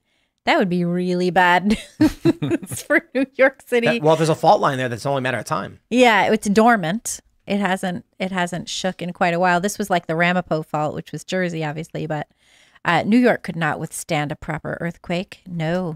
Well, Nope. it, it could be a problem. I know Haiti didn't have seismic activity for 200 years, and then all of a sudden that fault line, I forgot what it's called, activated, and they had just reinforced their buildings for hurricanes. Wow. So they were concrete and all that, and they were not earthquake proof at all. So that's why so many people died in that Wow. earthquake 15 years ago. Whichever you know, you know which one I'm referring to. It must be the end of days. gosh, I wonder. I can't believe someone remembered the plot of Superman Returns. That was you. Oh, I'm no, that was you. I'm. I'm No, I very remembered impressed. Superman Oh, did you? That yeah. was that was impressive. I, I was as we were just talking. I was thinking like God is gonna say when you die, if you die, or when you speak with God, it'll be like, yeah, I was real, dude, the whole time. I guess. Why did it take you 48 or 500 years, or whatever long? Why did it take you so many years to figure that out? why do you why did you live your life like just de- like you need it like maybe Can we, not. can It's- we, it's I want to give this lady a special shout out from the post millennial. Woke New Jersey Senate candidate says earthquake is evidence the climate change cri- climate crisis is real. I died when I saw this tweet. Yo, oh. I experienced my first earthquake in New Jersey. We never get earthquakes. The climate crisis is real. I'm sorry, it's a cult. Oh, Yeah. it's definitely a cult. It's definitely a cult. It- calling it the climate crisis is the culty part because there's a lot of crises in our climate at the moment. They keep changing. No, the culty defi- part is being like the the sun is uh, the the pollution is causing earthquakes now. Yeah, it's. Like, oh, dude, I on. did a. I went back. I looked at every uh, prediction. Weather people, climatologists, geologists, whoever that that that predict things, terrible things are going to happen to uh, the environment in some way. We're going to run out of oil, or we're going to run out of natural resources, or overpopulation. And I went back to when I was born in 1966. I found 53, and they are 0 and 53. Not one climate crisis, environmental crisis that the so-called experts have come up with has ever come true. And now they want us to believe number 54.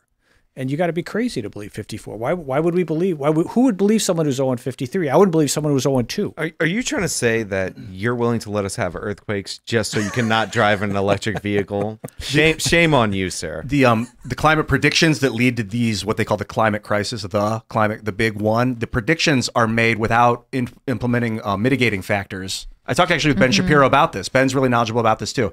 Um, because things change. They, they, so they build a data and they're like, if things continue as they are in 10 years, we will be, things don't, uh, they do not always, right. you learn a new technology completely. Like the horse poop in New York, they invented the automobile and it was completely, like Right, it was when- the when- biggest problem on earth. When did Greta city. Thunberg? She was like, "We have three years left" or something, and like, and then she deleted the tweet. Right. Yeah, So she had my delete my it. view is that was a load off my shoulders. I mean, like Were you she worried about it? when she tweeted that out and said we had like three years left. Once we finally reached that point, I was just relieved. So I'm like, now it doesn't matter anymore. Exactly. And I'm that's what- chill. Like we're done. It's Wow. over. And they never Party say time. that. Well, They and you never had say Al that. Gore. you It's had like a meteor. thing.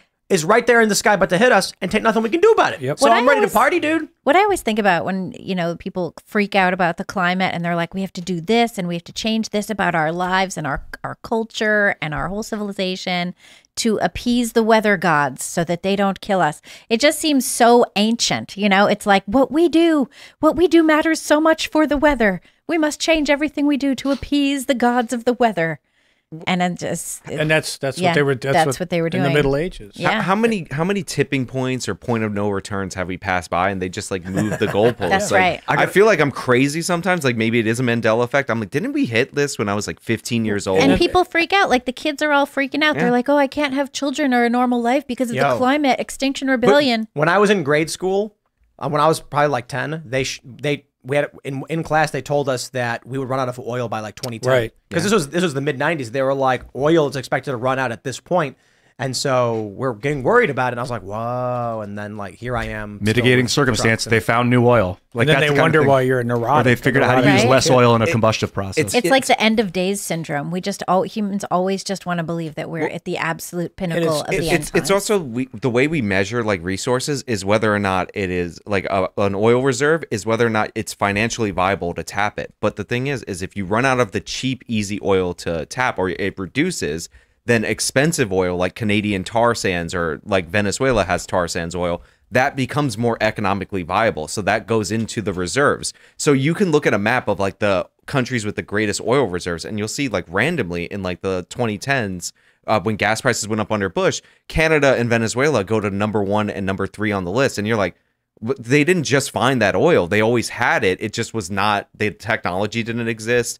It was not viable. So to your point, about how it doesn't measure like the change. It just says if we continue at this rate and we have this much, this is why all those Malthusian economic predictions never come true. They're like, we have this many people, this much food is being grown. It's like, yeah, but when there's more people, we think of we try to Yeah, make we're new gonna figure strains. it out. Yeah, Right, right. we'll be able to start making oil in laboratories. Like we, they're doing blue crude. We, we, we've, making- we've already made that. a Yeah, like time when you start three, 20 especially years. once you start three D printing atomically into molecules, dude. We don't need to find more. It's not about drilling anymore. It's really about what we're doing with the waste byproduct of the burning of it, and that's turning it into carbon oh, And- dioxide, graphene, And the things like that. solution is always leftism. The solution is always socialism. It's always more government, less freedom. They never come up, you know, it, like if we found out that earthquakes were caused because there wasn't enough carbon in the air, they would never tell us that. If, if that's what we figured out, because mm-hmm. no, No, we they- can't have more carbon in the air because then you'll enjoy your air conditioning. No, no, no. But th- they would, but then they would just make a reason why that means we need communism. It- yeah, or, or they would do that, or they would hide They'd it. be like, oh, well, Yeah. because of that, we have to put carbon. Ve- everyone has to have a carbon vehicle, so you need to sign up for this government program. Right. Everybody here's here's everybody. We're going to censor. Everybody has to have air conditioning. Everybody has to have a, a gas grill.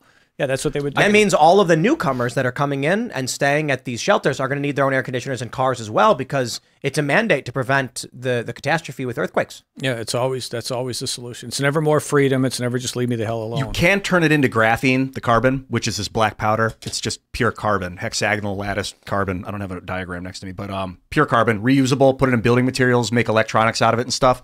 But the problem is, if, if private companies start doing that, we might take too much out of the air, and then we'll start killing off the plant life. So we might need not a communist dick mandate, some sort of central mandate to make sure that we don't, as a species, eradicate our our air supply. We won't. We'll just burn gas.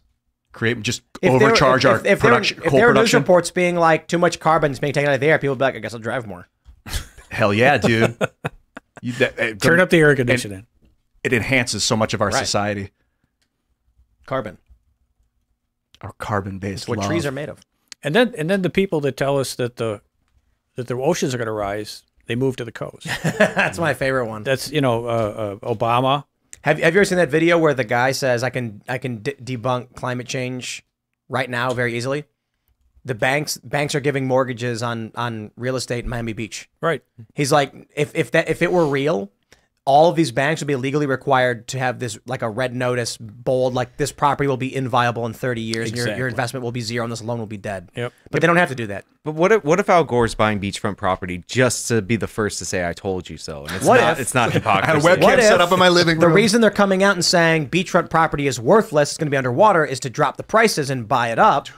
Then they can get cheap property. just like Lex Luthor. That's kind of the Lex yeah, Luthor that's exactly yeah, it. Yeah. Wow, that proves it. That may be what Trump's up to. Because the ch- the property in Miami Beach was shockingly cheap. I mean, it's relatively cheap. These six, 60 floor penthouses condos are like three thousand dollars a month to rent. To rent three. You know- thou- I thought they were gonna be six thousand. I've- But it's I- cheap. I've played Civilization. I know what happens. You build water barriers. They build sea barriers. That's exactly right. when you're when so in so this is funny because the game Civilization has climate change where the water's level, water levels rise and stuff, and uh, you you can build sea barriers around your cities. That's all you got to do. That's it. And then CNN is telling us that that the that the oceans are going to rise. And what do they do? They leave Atlanta, where they'd be safe, and they move right to the edge of the water in New York. Or what you can do is do what Chicago did and just raise the whole city up. Yep. How do they do it? They just built. They like it's crazy when you go to Lower Wacker, it's all steel beams and pillars, but when you're in, on the upper level, it it's just like a it. You, you think you're on a street. Oh, I know. Okay, I know. So that. it's crazy because like you go to New York and you like walk down the street, you're that that as asphalt over gravel on dirt and bedrock and stuff. You go to Chicago and you're walking on the sidewalk, and underneath you, you are walking on a bridge. Mm-hmm. It's and the whole city, like the whole, not the whole city, but this whole portion of the city. It's crazy. Was it a flood Well, in New zone? York, underneath underneath New York, in a lot of places, there's more New York. There's like buildings underground. There's they're not. oh yeah, in there's like abandoned railroad tracks yeah with ghosts. There's all kinds of Saw crazy that once in a stuff movie. down there. Plus, if, it, if the planet warms, if that's true, that'll save lives. We'll have more food. Uh, more people die from the cold than the heat, and Oh. we figure it out. And then there's a solution to the Israel thing. When Antarctica melts, maybe all the Jews can move there. There you go. Wow. Look, we've just solved all the problems. okay. Climate change is saving us, Thank you, Friday. making peace in the Middle East. making peace in the Middle East. I didn't believe in climate change before, but now I'm pro climate change. We're watching it change before our eyes, subtly, slowly, but it's changing always. But you can always rest assured that some crackpot leftists will have no idea what they're talking about and just say these things. But uh, okay. Also, that- why does it say from Earth on her tweet? yeah, I don't know. She's she's clever. She's cute. But It's because she's not on Earth and she like set her location as Earth. She's on Mars. Did she get community noted? I can't see that.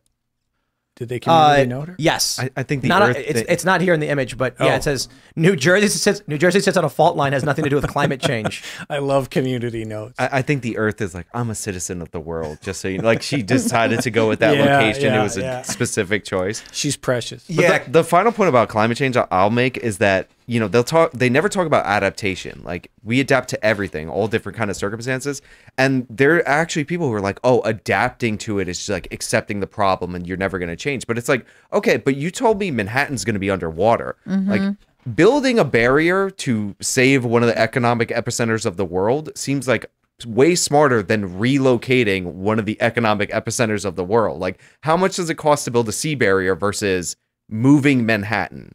Plus, you'd have Like- to go to war with China to get them to Yeah. comply. There, I mean, there's nothing we nothing we can do is going to change. what my, China my friends, I none of this matters. Okay, the the eclipse is coming, and the Rolling Stone says the far right is crawling with eclipse conspiracy theories. Everyone has lost their GD minds, and then they say blah blah blah blah blah. What are the conspiracies?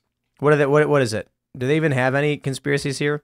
NBC's bringing back heroes again, and this is all publicity. This is stuff, look at all this right? patter. There's nothing in even this article. It's just stupid. They didn't even. Okay, well, I'm going to give it to uh, USA Today, who actually showed us the conspiracies, debunking misinformation conspiracy sparked by 2024 solar eclipse. All right, you ready for this one?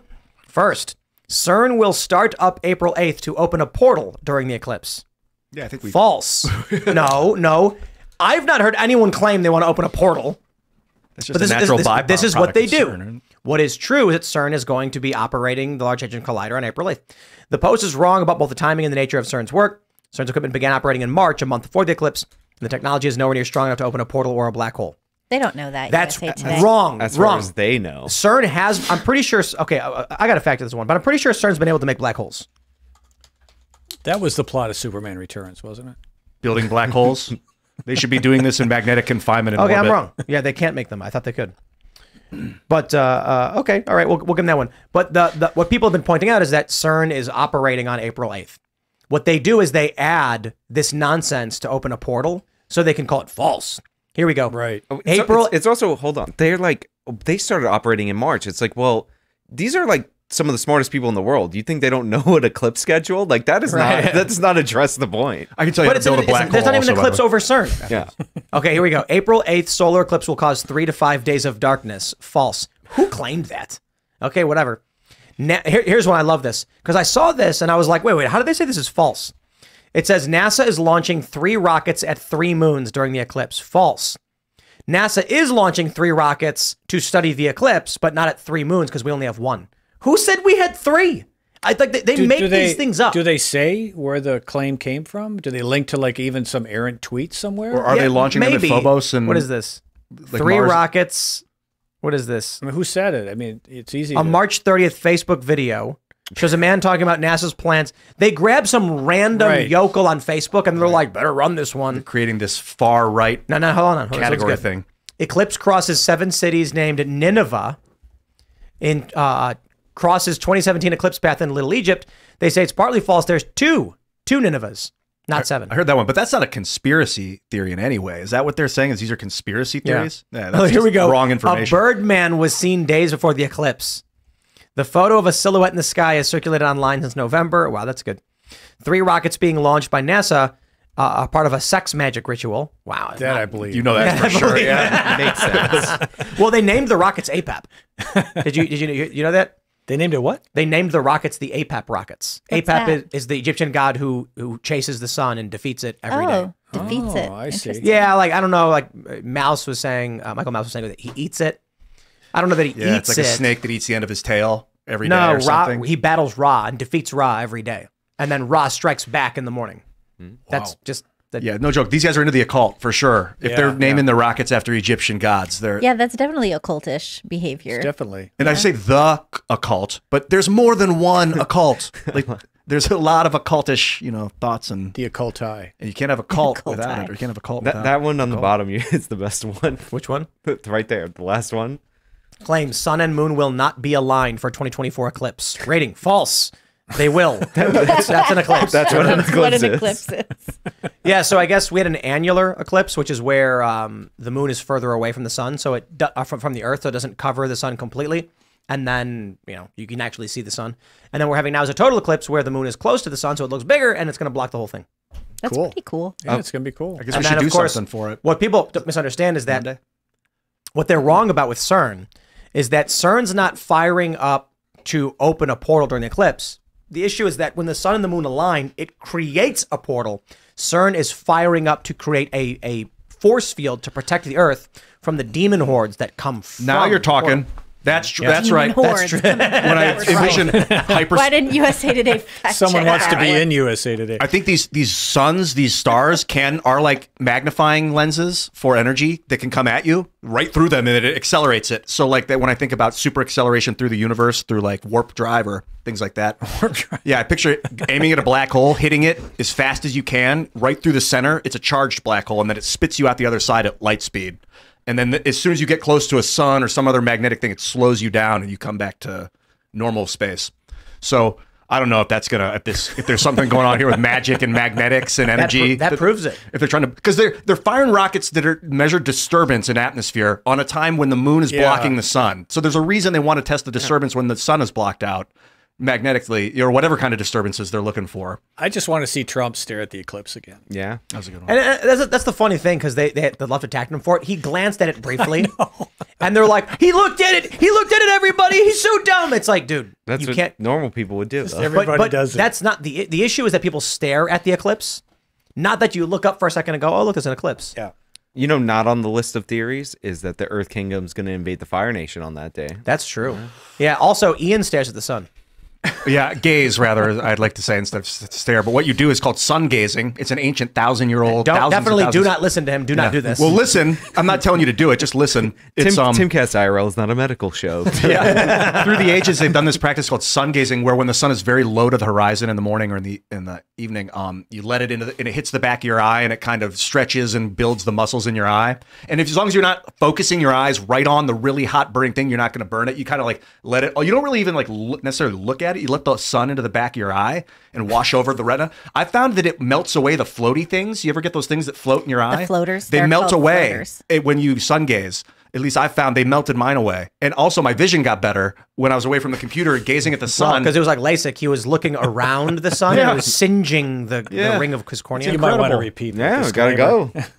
Like, yeah, it was wild, nuts. Sun gazing is the practice of looking directly at the sun. It is is the unsafe practice. That's what it says. It's like raw milk. I Of looking directly at the sun. Oh, sure. It's like the raw milk of healing yourself. It's done as a spiritual or religious practice, most often dawn or dusk. The human eye is very sensitive, and exposure to direct sunlight can lead to solar retinopathy. How do you pronounce this? Pterygium, cataracts, and potentially blindness. Yeah. Studies have shown that even when viewing a solar eclipse, the eye can still be exposed to harmful levels of ultraviolet radiation. Sun gazing is a lot like playing with fire. It, it's. It, I would not recommend that somebody just go do it. Like, um, it if you Don't try focus this at your home. eye. What's Facebook, that? Don't try this at home. No, no, no. Talk It's- to a it's- doctor, But it is and an they'll tell ancient you not to practice. do it. and if you focus your eye on the sun, man, it will rock your. Do not do that. You do not focus your eye on it. Like that is when you lose. Don't stare at the sun ever for any Stare, reason. it's not the si- gaze. That's why they call it gazing instead of staring because you're really not focused on the sun. You're focused in the direction of it, letting the light hit the back of your eye. There's also people that they do what what, what do they call it? Butt sunning or whatever? Oh yeah. Butt Sun sunning. sunballing or something. What is- Sunball. has- They they they get naked and then you hold your legs up in the air so the sun can hit your crack because they're like it's the one part of the body that never gets sun. Um, You know, I'm 58 years old. I've had HBO for 40 years. I never heard of any of this stuff. It's just amazing. Yeah, there's like Apparently people on I've Instagram and they have pictures where it's like a guy and a woman and they'll be naked. like you won't see anything, but they'll you'll see the people with the sun in the horizon and they're spreading their legs open. That's Yeah, weird. and they, and they do that thing where they have the lasers. You know what I'm talking about? People put the, the red light on their balls or oh, whatever. Oh, I didn't know that. Oh yeah, I have heard that. Also, icing your balls apparently. Oh, it's called the perineum sunning. don't don't do that red light thing if you have a cat. by Luke the way. Rudkowski was telling me about icing like your a balls. really bad idea. Oh, Luke was saying about icing your balls. Last huh? week he was telling me about it. He's like, apparently it's great for you. People do it if you can do it right and you do it. You know, it can help semen production. I don't. I don't. I don't even think. Like I've been looking into the ice bath stuff, and I don't think I'm going to do it. It sounds like it's stupid. It does seem kind of dumb. Yeah, I'm not doing that. Well, it inhibits protein synthesis. Yeah, I'm not. And they're doing like, what does it do? Okay, so it basically causes all your blood vessels to constrict, squeeze out lactic acid, and it reduces your recovery time while stopping the recovery process. And I'm like, okay. So your recovery time ends because you stop recovering. You jump in ice, your body stops healing, what was the point of working out in the first place? What's the plus? Yeah, I don't know. Yeah, you- it's um you want to do it when you're not working out. Or if you want to build muscle, don't do it because it'll inhibit muscle growth. But then why do it at all if you're not working out? What's the point? I think because it sends your body into a shock protein state where it, it, it starts to go into like um your immune system kicks on and it starts cleaning up the body. Shock proteins, check those out. And Rhonda Patrick does a lot on shock proteins and temperatures, um, and and fasting. Fasting has a similar uh, result of shock protein synthesis. I think is the case. But Rhonda Patrick's the doctor to listen to on that. Wouldn't you rather just watch TV Mm-hmm. than jump in the? it's really good. Well, there's the ice bath I've never done. There's the cold plunge I've done. Yeah. those are great. Those I, I actually craved like it was a food. I've never in my life. This has never happened before. I wanted to eat it. The next day, I, that cold plunge affected my body so much. The next day, I was hungry for it. My my stomach wanted it. What was the food? A cold plunge. Oh, a wild feeling. What? Yeah, my body was literally. I was having hunger cravings for the cold plunge. Really? Yeah. Wow. But is that a good thing? I think so. It felt like, a man, let's get another meal. Let's go. Yeah. Ian skipped all of his workouts this week. No, I worked out today by myself Oh, for about 25 minutes. Well, he skipped the three training sessions. we had. Yeah, but I did get my license, or started to my driver's license. I've Oh, you drive put- again. Putting that off for a while. Yeah, I know a lot of people who can't drive for some reason. I just COVID freaked me out. I didn't want to go in there with my mask and sit around and wait. And my license had expired, so I was just like, oh, I work from home. I Uber everywhere. It was, it was relatively convenient. I would get rides, but it, it was a burden. It became a burden. you couldn't update online because of the COVID thing. It Yeah, was that's what I did, I'm pretty in- sure. No, it was stolen South America like five years ago, and I it's lapsed so long that I had to go get a new Oh, one. yeah. Take the test again. I took the test. Tell you about that. That was wild. I, I updated mine online during COVID, and I was supposed to retake a picture, but I didn't have to. So I have like 17 year old me on my driver's license. Yeah, you should see mine. I At look age like a kid. 33. Yeah. Mine is My like hair's that all too. brown. It's still there. Because I had a, I, I got my like non-driver's ID, and they took a picture of that, and then I used that and I got a learner's permit, and I had the learner's permit for ten years before I got my license, and I got Why my not? license on which, literally which the means you got it twice because it's five years. So No, I never had a license before no, that. I meant the permit. You have to get it twice, so you renewed it. no, I, I it, they gave it to me for nine years. Oh. Yeah. Oh, here? Or no, Eric- in, New- in New York. Because my brother had to renew it. Same deal. But I got it on the very last day that it was possible, which was my 45th birthday. I think Arizona is like 50 years. Your license is good for really? That's Really? some insane amount of time. Don't they want to update your picture? Because I mean, you're going to look a lot different at, you know, 70 than 20. I don't know. Yeah, maybe it's. I I, I could have sworn someone showed me an Arizona ID. Last That's awesome. I'm a- my Yeah. my my first um what was it, passport ID. I looked like this hippie dude. I didn't care about, and I was just like full Yeah, flow. they, they expire on your 65th birthday. and then ah. as the years went on, my pictures became more and more sad. Like you can see the pain of reality kicking in. But you, I wonder what need, this new one. You do gonna need to update your photo every 12 years, and the license doesn't expire till you're 65. Wow. Mm-hmm. Well, that Yeah. makes sense. That makes sense. That's But yeah, crazy. It's going to be my first real ID. Do you know what kind of tracking mechanisms these things have? Isn't it like biometric data or something like that? I don't know. They're probably just RFID. I think the the main point of RFI uh, of uh, Real ID was so that there was one national database for all IDs from all states, basically stripping you of you, uh, stripping you of your sovereignty and destroying states' rights. And making it so I don't have to spend nine days getting people to mail things to that guy, to that guy, to that guy every time I move states, which will be the upside. And then the best part is in 50 years they're going to do the same thing with NATO, and then you're going to have to get your updated NATO Real ID, so that we can have one database between France, the UK, New York, Illinois. We got to call something other than NATO, though. I'm down with a one world government as long as it doesn't have much strength. Like if we have the states' rights still, but there's like a central authority that's like weak. Yeah, but like I was like watching this watching this commercial, It's and there was this lady singing about taking some drug for her A1C or something. What is A1C? I don't Ah, know, who but cares? my girlfriend was like, "I hate this commercial," and I was like, "See, down, now don't you understand Bill Gates? Right. He's sitting here watching these Ozempic commercials, and he and he's just thinking to himself, like, they all must go." Right. I'm like, wow, you know, I can't blame him. I saw the same commercial. Logan's are on. Yeah, Logan's Run. I was thinking, I actually mentioned this to the suicide pods in Canada, these this MAID program and things. Suicide and I'm like, pods. we were joking, we were kind of talking about like, well, what's it going to do? This, and I was like, well, and also lower the chance of them having a revolution because a lot of those angry young men that normally go to war end up going to the pod, and Yeah, what's going to happen is they're going to they're going to they're going to capture some young re- rebellious man, and then they're going to come out and be like, "Unfortunately, he opted for the suicide booth." Exactly. Well, I'm thinking more less nefarious that instead of becoming rebellious, they'll just become depressed and suicidal. And society will point them in that direction because they don't want them to become enraged. They know it's bad. They're just like, They'll just "Eh." cut their balls off. it's kind of happening in this country with with the drugs. You know, you have a lot of people. It's it may not be a suicide, but suicides are way up. Drug drug deaths are way up, and it's all sort of this cultural attack a on death on the cult. working people. Yeah, Yeah, it's, it it's is. a death it is a cultural Yeah. attack on the working people. Yeah, so you and they're just being replaced with like, you know, cheap immigrants. Yeah, and you Yeah. They, uh, you hear stories too where I live about people they have pride, things aren't going well, and then the government will come in and say, "No, you, got to get these food stamps. You got to get the You got to welfare. put fluoride in your drinking water. Mm-hmm. so, you know, this is what's best for you. This is what's best for you, and then you create a dependent class out of it. we don't have fluoride in our drinking water. It's some of the best drinking water It just comes straight out the ground. I've ever had in my life. and it's The well uh, water. We have two nine-stage filters. We have a basic one, and then we have uh, w- one for the sink. So it goes through twice. The last one adds minerals back into it because you don't want to have the stripped water, or whatever. But uh, yeah, no fluoride. We take we, we add potassium. I think you need potassium if you get if you get well water. You need to add that, otherwise you won't have potassium. You can't just eat a bunch of bananas. You can you can eat a bunch of bananas too if you want to do that. There is an amount of bananas you can eat that will give you radiation poisoning. Oh, but no way. You will Yeah. die from eating the bananas before you get radiation poisoning. Oh. I was Do reading you that know on how Reddit or many? something. I love Roughly how many? Is it like a thousand or or? It's probably some It's a absurd number. I'm a big. Fr- I, You ever I hear the story about the guy? Uh, you ever hear the story about the guy who died from eating too many Red Lobster biscuits? Gross. Gross. Apparently, it's like an urban legend. I don't know if it's true, but he was like sitting, he was waiting for a friend or something, and so they gave him a, tr- a thing of biscuits, the cheddar biscuits, and he ate them, and he just annihilated the whole basket.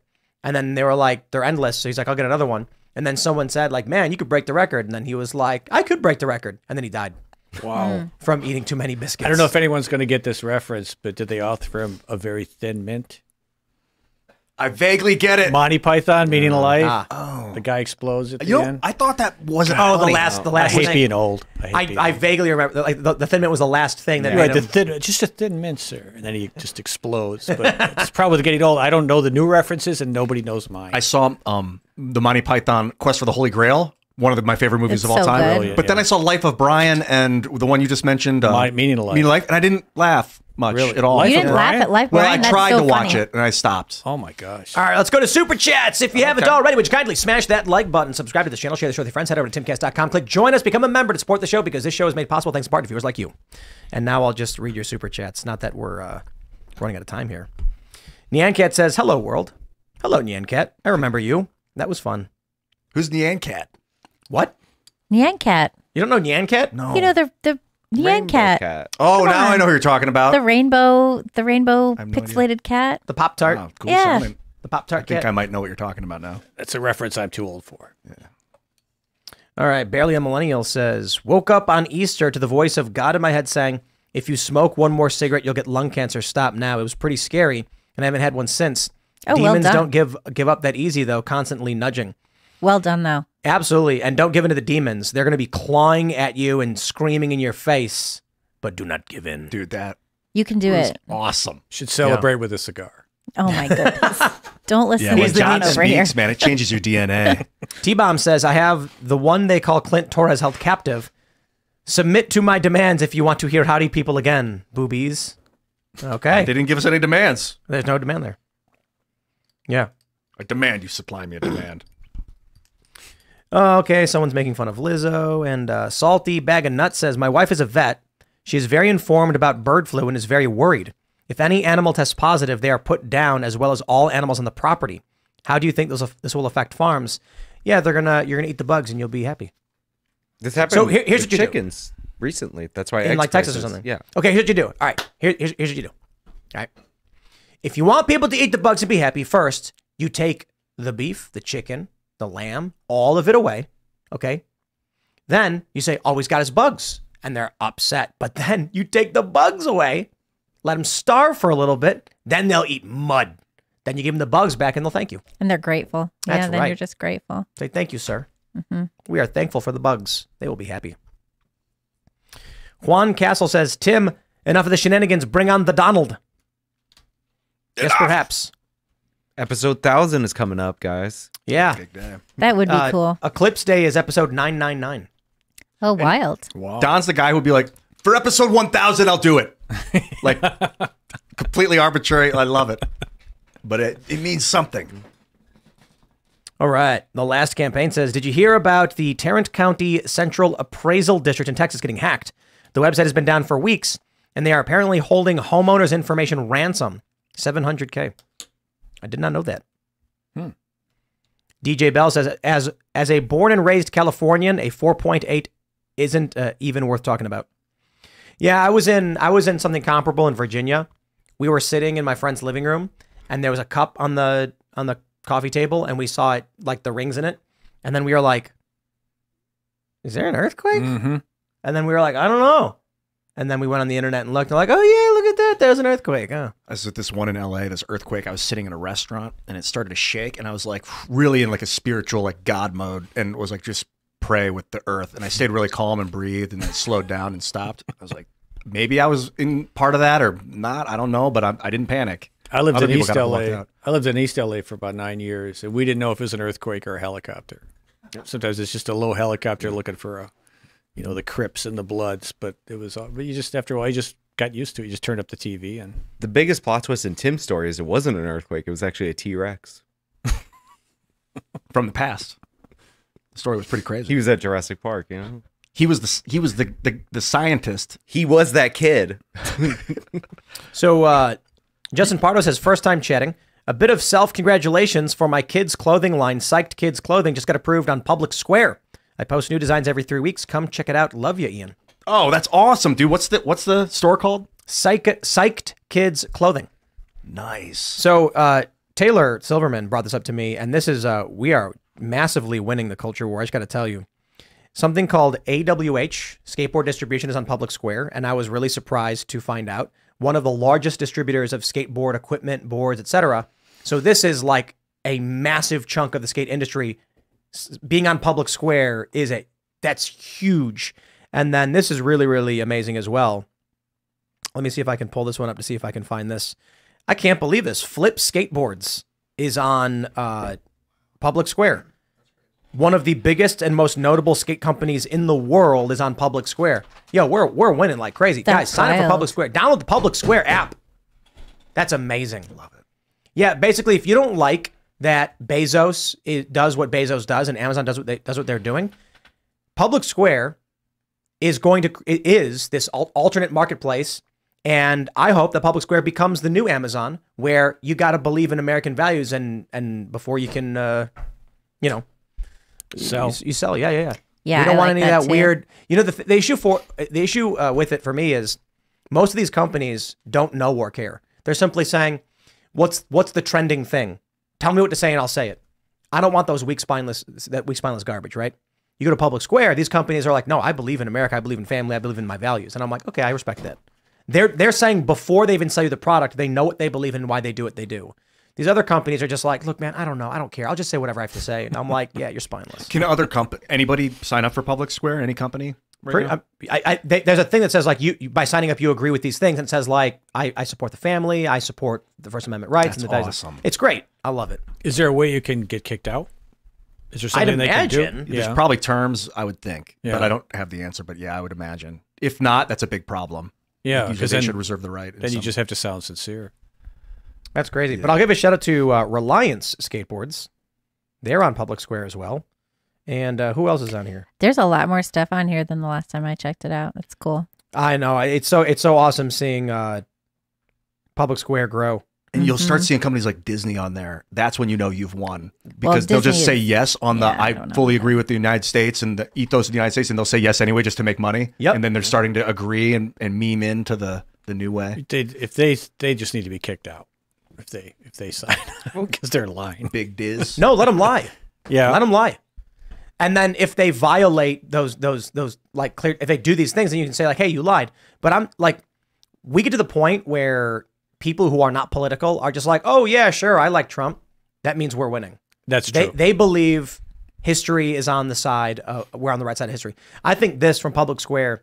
Let me just tell you guys. You don't gotta know anything about skateboarding other than AWH distribution is one of the largest. So the way it works is lo- like skate shops have distributors who collect all of the gear, boards, clothes, all this stuff, and then they order directly from a warehouse.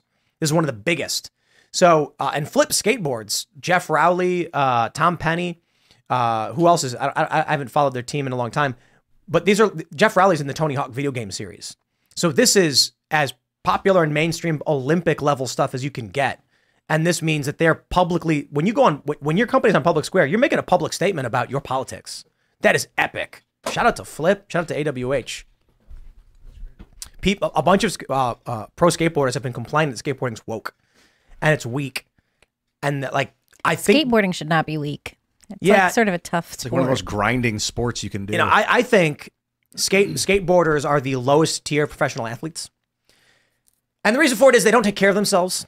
They drink, they smoke, they do drugs. Uh, they don't like they, they don't act like athletes.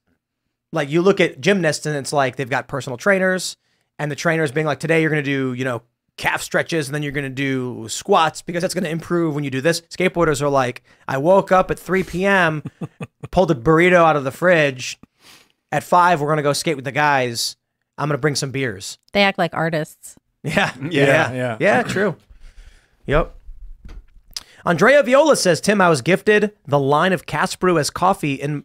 Uh, I was gifted the line of cast brew as coffee is my thing, and I am somewhat a coffee snob. It is absolutely fantastic. Bravo, my new fave. Thank you very much. I gotta say, like, they're good. Like, uh, Rise with Roberto Jr. was first my favorite, and then Appalachian Nights is the only thing I want to drink. I don't know why it's so good. it's my favorite one. It's crazy how good Appalachian Nights is, and it, and this is not even an opinion. We we we struggled to keep it in stock. It wasn't even the one that we were promoting. The the when we launched, we were like, Rise with Roberto Jr. Breakfast Blend will be our signature. Like that's why we put the rooster on it. And then Appalachian Nights was like, well, we just need like I, I was like, I personally like a good dark roast as long as it's not burned or anything. And then when you look at the website, the reason the first one that appears everywhere is because it's the highest selling, and it's always selling out. It could be because it's uh, starts with an A, so it's at the top alphabetically. Also, it's the best brand. It's the best title. The Appalachian Nights is so awesome. It's a good. Yeah, it's, It's- a it's good pretty name. catchy. It's a good name. There yeah. you go. Very good. We we hit, one- hit that one out of the park. Uh, it's the only one I would drink. I don't, like I go we go anywhere and I'm like this coffee sucks. Like once what, I I I, I for, forgive me because it is a curse when you buy this. Yeah. You taste it. It is so delicious. You'll never want to drink anything else again. I'm not because I was a huge um, pumpkin spice fan, but now I'm I'm ready to kind of put that down. I had I've coffee drinking it a here this lately. morning. I don't know what it was, but I drank it black, and I usually drink it with milk and sugar. I'm I- assuming it's your brand at your yeah, yeah, yeah. your, it your probably place. was Appalachian Nights. Stand Your Grounds is a medium roast, and it's and it's supposed to have like the same flavor profile, so it's supposed to be very similar, but it'll be a little higher caffeine and medium. But yeah, I don't know, man. Like, you go to the website and it's always sold out, and so we told our distributor just like, just do it, just make whatever. We can't keep it in stock. The bag really looks like what it looks like out there at night. It's wild. Like we're in Appalachia, you know. That's right. Like you see those, the mountains are a little darker than the dark sky behind them, It's or is great. it the sky that's darker? I can't The tell. Yeah, mountains when we- are when- beautiful. Moving out here from Jersey, and I look out my window and I see mountains. Man, yeah, the mountains are gorgeous. You uh, Salt Lake City's better. You guys ever been to Salt Lake City? I've never been to Utah. Oh man, real mountains. I've been to the Rockies. I mean, I've spent a bunch Yeah. of time in Colorado. That's cool. But we got good mountains up here. They're just covered in trees. You know. Well, they're old tall. mountains. That's why they're soft and a little rounder. You know, they've been out here for a lot longer than the Rockies. They were spared from the flood. Well, yeah, and they're they're just they've been Partially. tamped. They've been tamped down. I heard someone describe the mountains in Salt Lake or in Utah that a panther set its paw down.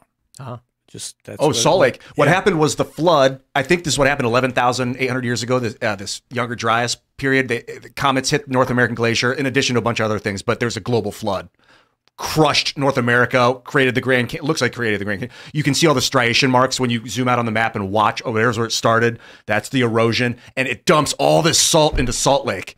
Right there, it just dumps all this salt. It hits this basin and leaves this salt basin behind it. Yeah, yeah. All right. Wow. Alan Cardinal says, Tim and Ian, can you wish Jill, my mother, happy birthday? She's your biggest fan. Happy birthday, Jill. Happy birthday, For Jill! watching the show. Big day. Happy birthday. Purple says people are acting like there isn't one innocent person in Gaza. Well, that's an interesting conundrum. That's like Sodom and Gomorrah. that One righteous person in Gaza, then they must spare it. Well, actually, God, you know, they had the whole negotiation, and Right. God was like, you know, they they got him down to ten, and it's like, yeah, if there's ten good men, Got them to one. yeah, but there they there was one, and the angels went and they hung out with Lot, right? They, they they pulled the good people from the city and, they then blew took it the one guy out. They were Right. like, we won't spare the city for one guy. We'll spare the guy, but not the city. Oh, right, right, right, right, right. So they did not spare right, the yeah, city yeah, yeah. for one So if you can go in and get those righteous people out, I suppose biblically, then it's fine. Is that what the no, it's is? just no, it's just if if there's less than ten, ah. But there- biblically. there, are innocent people. but in there's of Gaza, course there obviously. many more. obviously, Um, of course there are. Yeah. I'm just going with the story. And. Israel I- is probably All right. doing more than any country in history to try and protect them. So Banana Watch super chatted, I think one, two, three, No one four, tells five, six, seven, Ukraine eight, to nine, watch it for civilians. Israel funded They just say, Hamas. Israel funded Hamas. Long term, Wait a minute. Say that again. long range missiles. Okay, so uh, Banana Watch said in numerous super chats, Israel funded Hamas. Israel funded Hamas. Uh, that I was told by Scott Horton. I don't know how, if it's true or not, but it, they, I heard that they built it to counter op, oppose um, the PLO to to dis, to like make the two state solution more challenging for them. And then they had like two enemies that hated each other. Could be wrong. I don't know. I, I've heard this, but I've seen Destiny go over this, you know, on his Wikipedia, as he's been criticized for. And essentially, some some people are arguing that what like that's the government over there, and Israel has to transfer aid, and they stop transferring it through the PLO, who would just transfer it to this other body, and like money would go missing on the way. But like I I don't know, that's that's the that's the defen- more defensible explanation that I've heard. Well, we, you know, we maybe it's like what we did with Iran and Iraq. You know, kept them at each other's throats too. It's just Possible, yeah. geopolitics. Devin Porter says, Tim, I'd love to help draw the coffee shops to flush out the general aesthetic and franchise design. I also offered to draw the display case for the Civil War flag, but I haven't heard back from SCNR or Ian. I'm Builder Guy 87. If you're interested, we likely will not have the Civil War flag because we can't uh, uh, we can't uh, uh, cover the liability for it. We cannot accept a loaner for a hundred multi like several hundred thousand dollar object because our insurance companies are like, we will cancel you in two seconds because we're not going to assume that. And it's like, okay, well, we probably can't do that. Uh, as for the uh, coffee shops, we are all we have already done everything. It's, everything's done. I can't say much about it because there's like laws or something, but uh, we are really really close to the process, and it's going to be fantastic. If you haven't already, you should like push this as a third place. You know, there's like That's the- that's what, that's yeah. what it is. That's the so idea, the, one of the ideas is Saturday morning cartoons where Saturdays at like 6 a.m. families bring their kids. The the the the the, the, the shop will get catering. Kids can hang out on the TVs. They're playing wholesome, family friendly uh, cartoons and educational stuff. The parents are networking with each other. At our building in Martinsburg on the second floor, we have a private club for Timcast Elite members. So if you're a member at 100 bucks a month, when this opens, you'll have a key fob and you walk up there and go doot and opens up and you can come hang out. There'll be hours. It'll probably be like, you know, 9 to like 11 p.m. every day or something.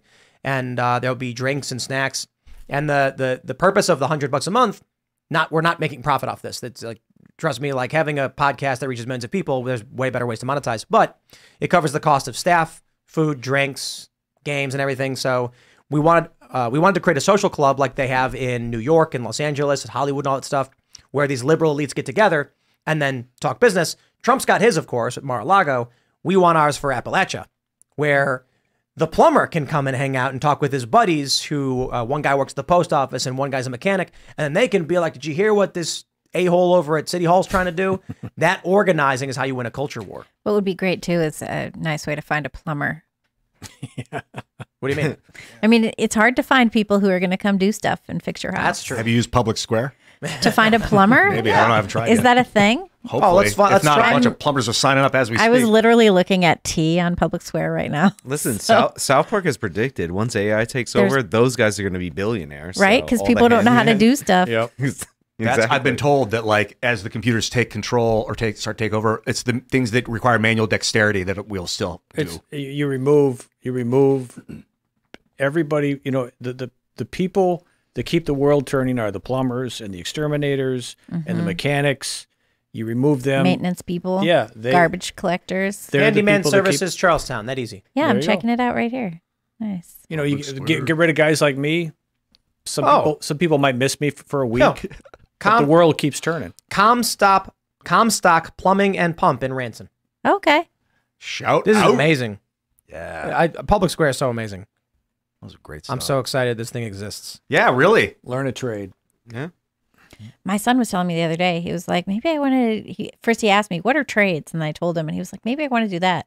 Yeah, And I was like, for sure, you could do that. definitely. And you can always like have passion projects on the side because he's also really into um, making music. So Man, if you're if you're in a city like Chicago, New York, or LA, you gotta get Public Square.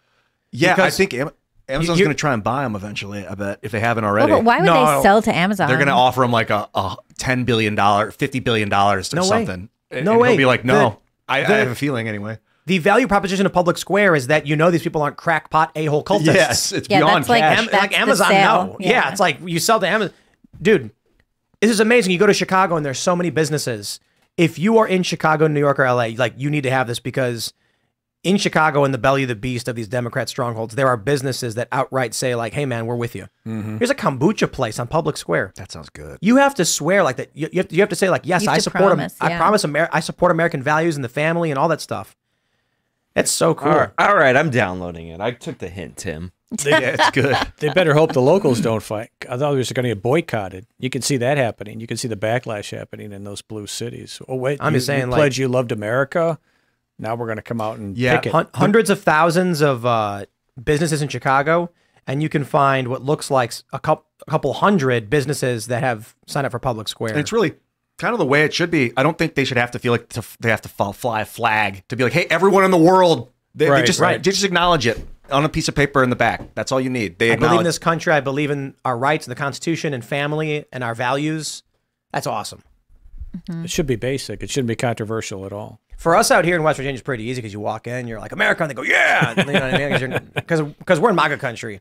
Even Western Maryland is MAGA country. Yeah. I was saying we there, there's a bar in the Maryland uh, in the Maryland Panhandle in Western Maryland, and they had the Trump riding the Velociraptor with the machine gun or whatever, and I'm like, you don't you don't need you don't need you know they should be on public square, but we know out here. But like if you're in New York, you you could intentionally give your money to businesses that have said I believe in this country and our values and all these things, and reject. It's like basically just saying no woke, none right, of that. right, right. Right. That's rad. All right, all right. We'll read some more super chats. Okay. Ayub Matan says, "Man, Tim, have some diversity. Nothing but Zionists. Expect, uh, except Ian. At least have some moderates. Ask the panel, except Ian, if Isla- Islam is inherently violent." Here's what I love about the the Isra- Israel derangement syndrome. Okay, they call everyone Zionists. Like the the way the woke call people white supremacists, you're like, I think scheduling is important. You're a white supremacist. You go, uh, I actually don't care about Israel or the moral arguments with Israel Palestine. I can understand why Israel went to war. You're a Zionist. It's like okay, like I, I have no idea what you're talking about. Yeah, I, I acknowledge Israel's well right to exist. I mean, I, I acknowledge its right to exist in that de facto it exists. There's no denying that, and every human has a right to defend themselves. I'll go that far. I'm talking about Zionism. If you talk about, do I support like the the creation of a ethno state in that? That's another If- conversation. if- I mean, So the what happened, so right? Like- I got people on Twitter and prominent people, not like random accounts, saying that I'm a Zionist. And it's like my position is that the U.S. should cut all funding to Israel, and they're like Zionist, and I'm like, huh? If you go to my Twitter account, my profile says one word: Zionist. what does it mean? what does it mean? I, I don't even know. I just know that it, it it upsets the squares. Isn't it originally just you think that the Jewish people should have a state? Yeah, I'm reading it now. It's a political movement for the establishment of a Jewish nation state in the area of Palestine since 1860. Right. So it's like calling someone a white supremacist. You're like, I don't have any strong opinions on that at all, and I don't think we should be involved or funding it. And they're like, well, then you're a Zionist. It was a political movement. Would that unless mean unless you think the only for to many of these people, the only way to not be a Zionist is to argue that Israel should not exist. Right, right. And I'm like, well, I don't. I'm not getting involved in your war, dude. Like, oh, like the I'm not going to argue for the undoing- existence of Burma either. I'm not going to talk about Tibet. It's the same reason I have a coffee cup with a rebel flag on it. It just upsets the uptight squares. I want to. I, I don't want to undo the Israel. I want to bring the Jews and the Arabs all and the and the Muslims together to worship like Abraham, what we all come from. Like let's acknowledge that together and go deeper. All right. Patriot American says, I've been going to Lancaster since I was a baby, and I had no clue that yayo came from a plant. I thought it was just heroin and weed that came from plants. The ca- the cacao plant? No, no, Yayo. It's a coca. coca It's like plant. coca. Yeah, Not cacao. Coca. And in, in the mountains in Peru, they like the the in the Andes or whatever, they lo- like chew on coca leaves. I sucked on that when to, I was in Peru. Go climbing around. Yeah. We, we take the, the coca leaf, you put a little tobacco in it, just pure like sticky tobacco, and then you fold up the leaf and stick it up in your lip. That's suck on it for like 20 minutes. it's like Zen, right? It really it Ginger, was. Ginger McIsaac says the latest geographical evidence is an asteroid strike that smote Sodom and Gomorrah. They're an area that had fra- uh, fractional glass just east of the Dead Sea area.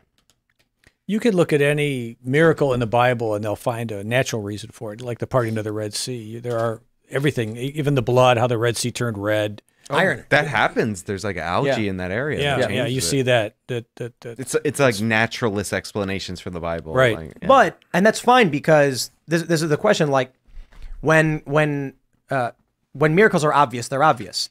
But if God takes action, does He not take action through the natural means of the universe in which He exactly. created? Yeah, exactly. I, think, I think God should break microscopes because they'd be cheating. Because the water turns red, we're like it's blood, and then when you get a microscope, you're like, oh, it's a bacteria. I don't think it's cheating.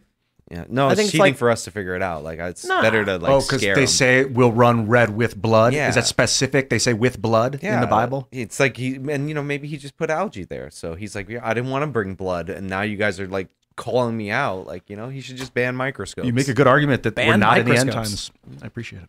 But it's you know, it, I don't think it's a coincidence that Moses or Charlton Heston, whoever it was, says these things are going to happen, and then these natural uh, things We'll- happen to make them happen. We'll The get one. We'll get one more in. firstborn. Bud guy says maybe God was upset since Trump is selling his own version of the Bible.